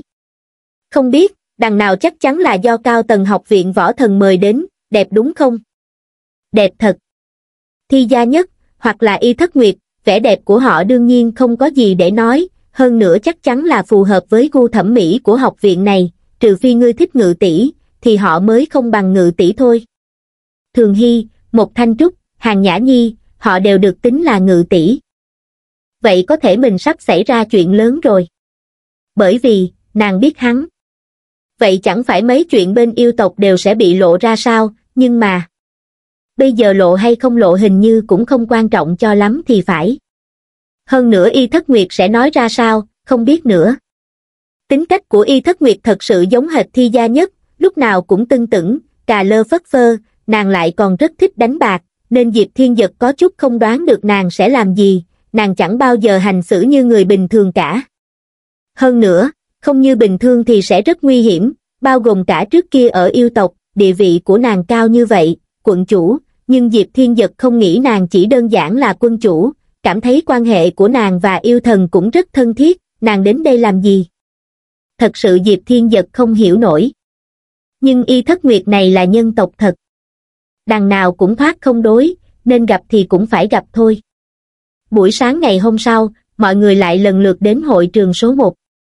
Mà hôm nay hội trường lại biến thành, khắp nơi đều là dụng cụ. Lúc Diệp Thiên Giật thấy đống dụng cụ này, đã thấy rất có hứng thú. Có rất nhiều loại, công dụng cũng có rất nhiều, nhưng có trời mới biết mấy thứ này là dùng để khảo hạch cái gì, rồi cụ thể là thi như thế nào, nói chung chắc không phải là thiên phú rồi, lúc mới vào đã có hảo hạch thiên phú rồi. Nhưng phàm là có liên quan đến dụng cụ, Diệp Thiên Giật đều khá là tự tin. Diệp Thiên Giật nhìn qua. Bạch Hàng Tuyết, Hạ Ngữ Hàng, kế bên còn có Lưu Ly Vũ. Sao ba người này lại đi chung rồi, vậy chắc Lưu Ly Vũ là bạn cùng phòng của họ, nếu không, chắc trong thời gian ngắn như vậy họ sẽ không đi chung với nhau đâu. Trong học viện còn có giao tịch, còn có y nhân tuyết, còn có Long Bảo Nhi, Diệp Lạc Lạc, đều là đỉnh cấp mỹ nữ. Căn bản là có chút quan hệ với Diệp Thiên Dật, sau đó còn có y thất nguyệt. Cái học viện này Diệp Thiên Dật thật thích, chính là xem xem sau này trong học viện có gì khác không. Phó viện trưởng Trương không nhìn mọi người rồi nói, chắc mọi người đã đến đủ rồi. Họ vẫn chưa chia lớp, cho nên khá là loạn. Nhưng nghĩ qua nghĩ lại chắc là không ai chưa đến. Cho dù có loạn, họ cũng đều là thiên tài, không đáng để nói là vô kỷ luật. Hơn nữa họ cũng biết lần này quan trọng thế nào. Vậy tốt, không nói lời vô ích nữa, trực tiếp vào trận đấu, lần xếp hạng chắc chắn không thể kết thúc trong vòng một ngày, dù sao thì số lượng các ngươi cũng quá nhiều, học viện võ thần không gấp, vòng thứ nhất, thi sức mạnh. Diệp Thiên Giật khá kinh ngạc. Sức mạnh, cái này quá đơn giản rồi, thi xếp hạng mà chỉ so sức mạnh đơn thuần sao, còn dễ hơn lần hảo hạch đầu vào nữa. Đương nhiên, đây chỉ là cách nghĩ riêng của Diệp Thiên dật còn về phía học viện nghĩ như nào thì không biết. Lần thi đấu này khá là tiết kiệm thời gian, những ai hoàn thành cuộc thi này thì tiếp tục hoàn thành cuộc thi thứ hai, thứ ba, sẽ là do các giáo viên đích thân chấm điểm cho các ngươi, sau cùng sẽ lấy tổng điểm 4 vòng của các ngươi để tiến hành xếp hạng. Trương Khung nói. Phó viện trưởng, nhưng mà... So sức mạnh, sức mạnh của mọi người quá phong phú, cảnh giới không giống nhau, thuộc tính cũng không giống, các phương diện đều không giống, không công bằng như lần thi thiên phú trước. Đúng vậy, đúng vậy, ta không quan tâm cái khác, chính là cảm thấy, cảnh giới không cao, vậy sức mạnh cũng sẽ khác, vậy thì không can tâm. Đúng vậy, cái này không công bằng như thi thiên phú. Rất nhiều người bàn tán. Trương Khung ho một tiếng, trật tự. Sau đó Trương Khung nói, cái thế giới này vốn đã không công bằng, đối với 99% khác, thì các ngươi đã là người thắng cuộc rồi, đơn thuần là đấu sức mạnh, đương nhiên không công bằng, vậy thì chúng ta sẽ làm cho chúng công bằng hơn. Các ngươi nói không công bằng, vậy cho ta hỏi, thuộc tính không gian mạnh không, mạnh hơn thuộc tính kim không? Vậy so sức mạnh, là thuộc tính không gian của võ giả hay thuộc tính kim mạnh hơn? Không so được đúng không? Sức mạnh sẽ không ảnh hưởng bởi thuộc tính không gian, nhưng thuộc tính kim lại có thể tăng sức mạnh, vậy rõ ràng người nên đạt được điểm cao là thuộc tính không gian, nhưng lai không sánh bằng thuộc tính kim, vậy có công bằng không? Các ngươi cảm thấy không công bằng, ta còn cảm thấy bất bình thay những võ giả có thuộc tính thời gian, không gian đấy, theo lý thì bọn họ mới là người nên đạt được điểm cao hơn, đúng không? Trương không nói một tràng, họ câm nín không biết nói gì.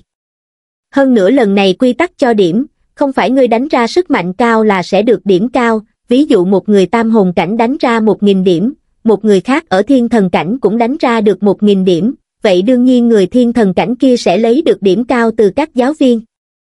ngược lại tam hồn cảnh này chỉ được điểm bình thường, cho nên, các ngươi cũng không cần lo việc cảnh giới thấp mà bị điểm thấp, học viện võ thần chúng ta chắc chắn có cách làm để cân đối, các giáo viên cũng sẽ dựa theo tiêu chuẩn này để cho điểm các ngươi. Mọi người gật gật đầu. Vậy được.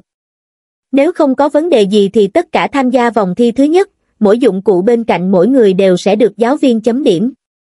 Đồng thời các ngươi cũng có thể biết điểm mà các giáo viên chấm cho mình, trước khi thi đấu thì nhớ quét mã của mình để biết rằng các ngươi đã khảo hạch rồi, bây giờ, các vị theo thứ tự đội tiến hành vòng thi thứ nhất. Soạt, câu nói kết thúc chưa được bao lâu thì đã có võ giả bắt đầu. Điểm sức mạnh cuối cùng rơi tầm 1.200. Trương Mạnh 1.200. Vậy ta đại khái hiểu rồi. Trong lòng rất nhiều người đều đã hiểu rồi, sau đó bọn họ thấy các giáo viên cho ra các số điểm khác nhau, đại khái là từ 8 điểm đến 8, 5, sau đó điểm bình quân của 10 giáo viên cộng lại, chính thì điểm vòng này của họ. Sau đó lại tính điểm bình quân 4 vòng sẽ là thành tích cuối cùng, từng người một bước về phía trước vô vấn chính. Chính, một điểm cao nhất xuất hiện, mọi người đều ngạc nhiệm vậy sao? Diệp Thiên giật nhìn tên vừa mới rơi khỏi vòng một ứng vô vấn kia. Ứng vô vấn của ứng thiên điện, trước đây chủ động nói chuyện với Diệp Thiên Giật, Diệp Thiên Giật khá có ấn tượng, hình như hắn thích y nhân tuyết, hơn nữa y nhân tuyết cũng khá tôn trọng hắn, thái độ không tệ. Quả nhiên, hắn thật sự lợi hại. Vòng 1, không xem những thứ khác của ngươi, ngươi chỉ cần sử dụng thuộc tính và linh lực, võ kỹ và tăng phúc tâm pháp gì đó đều không được dùng, cho nên không liên quan đế cảnh giới.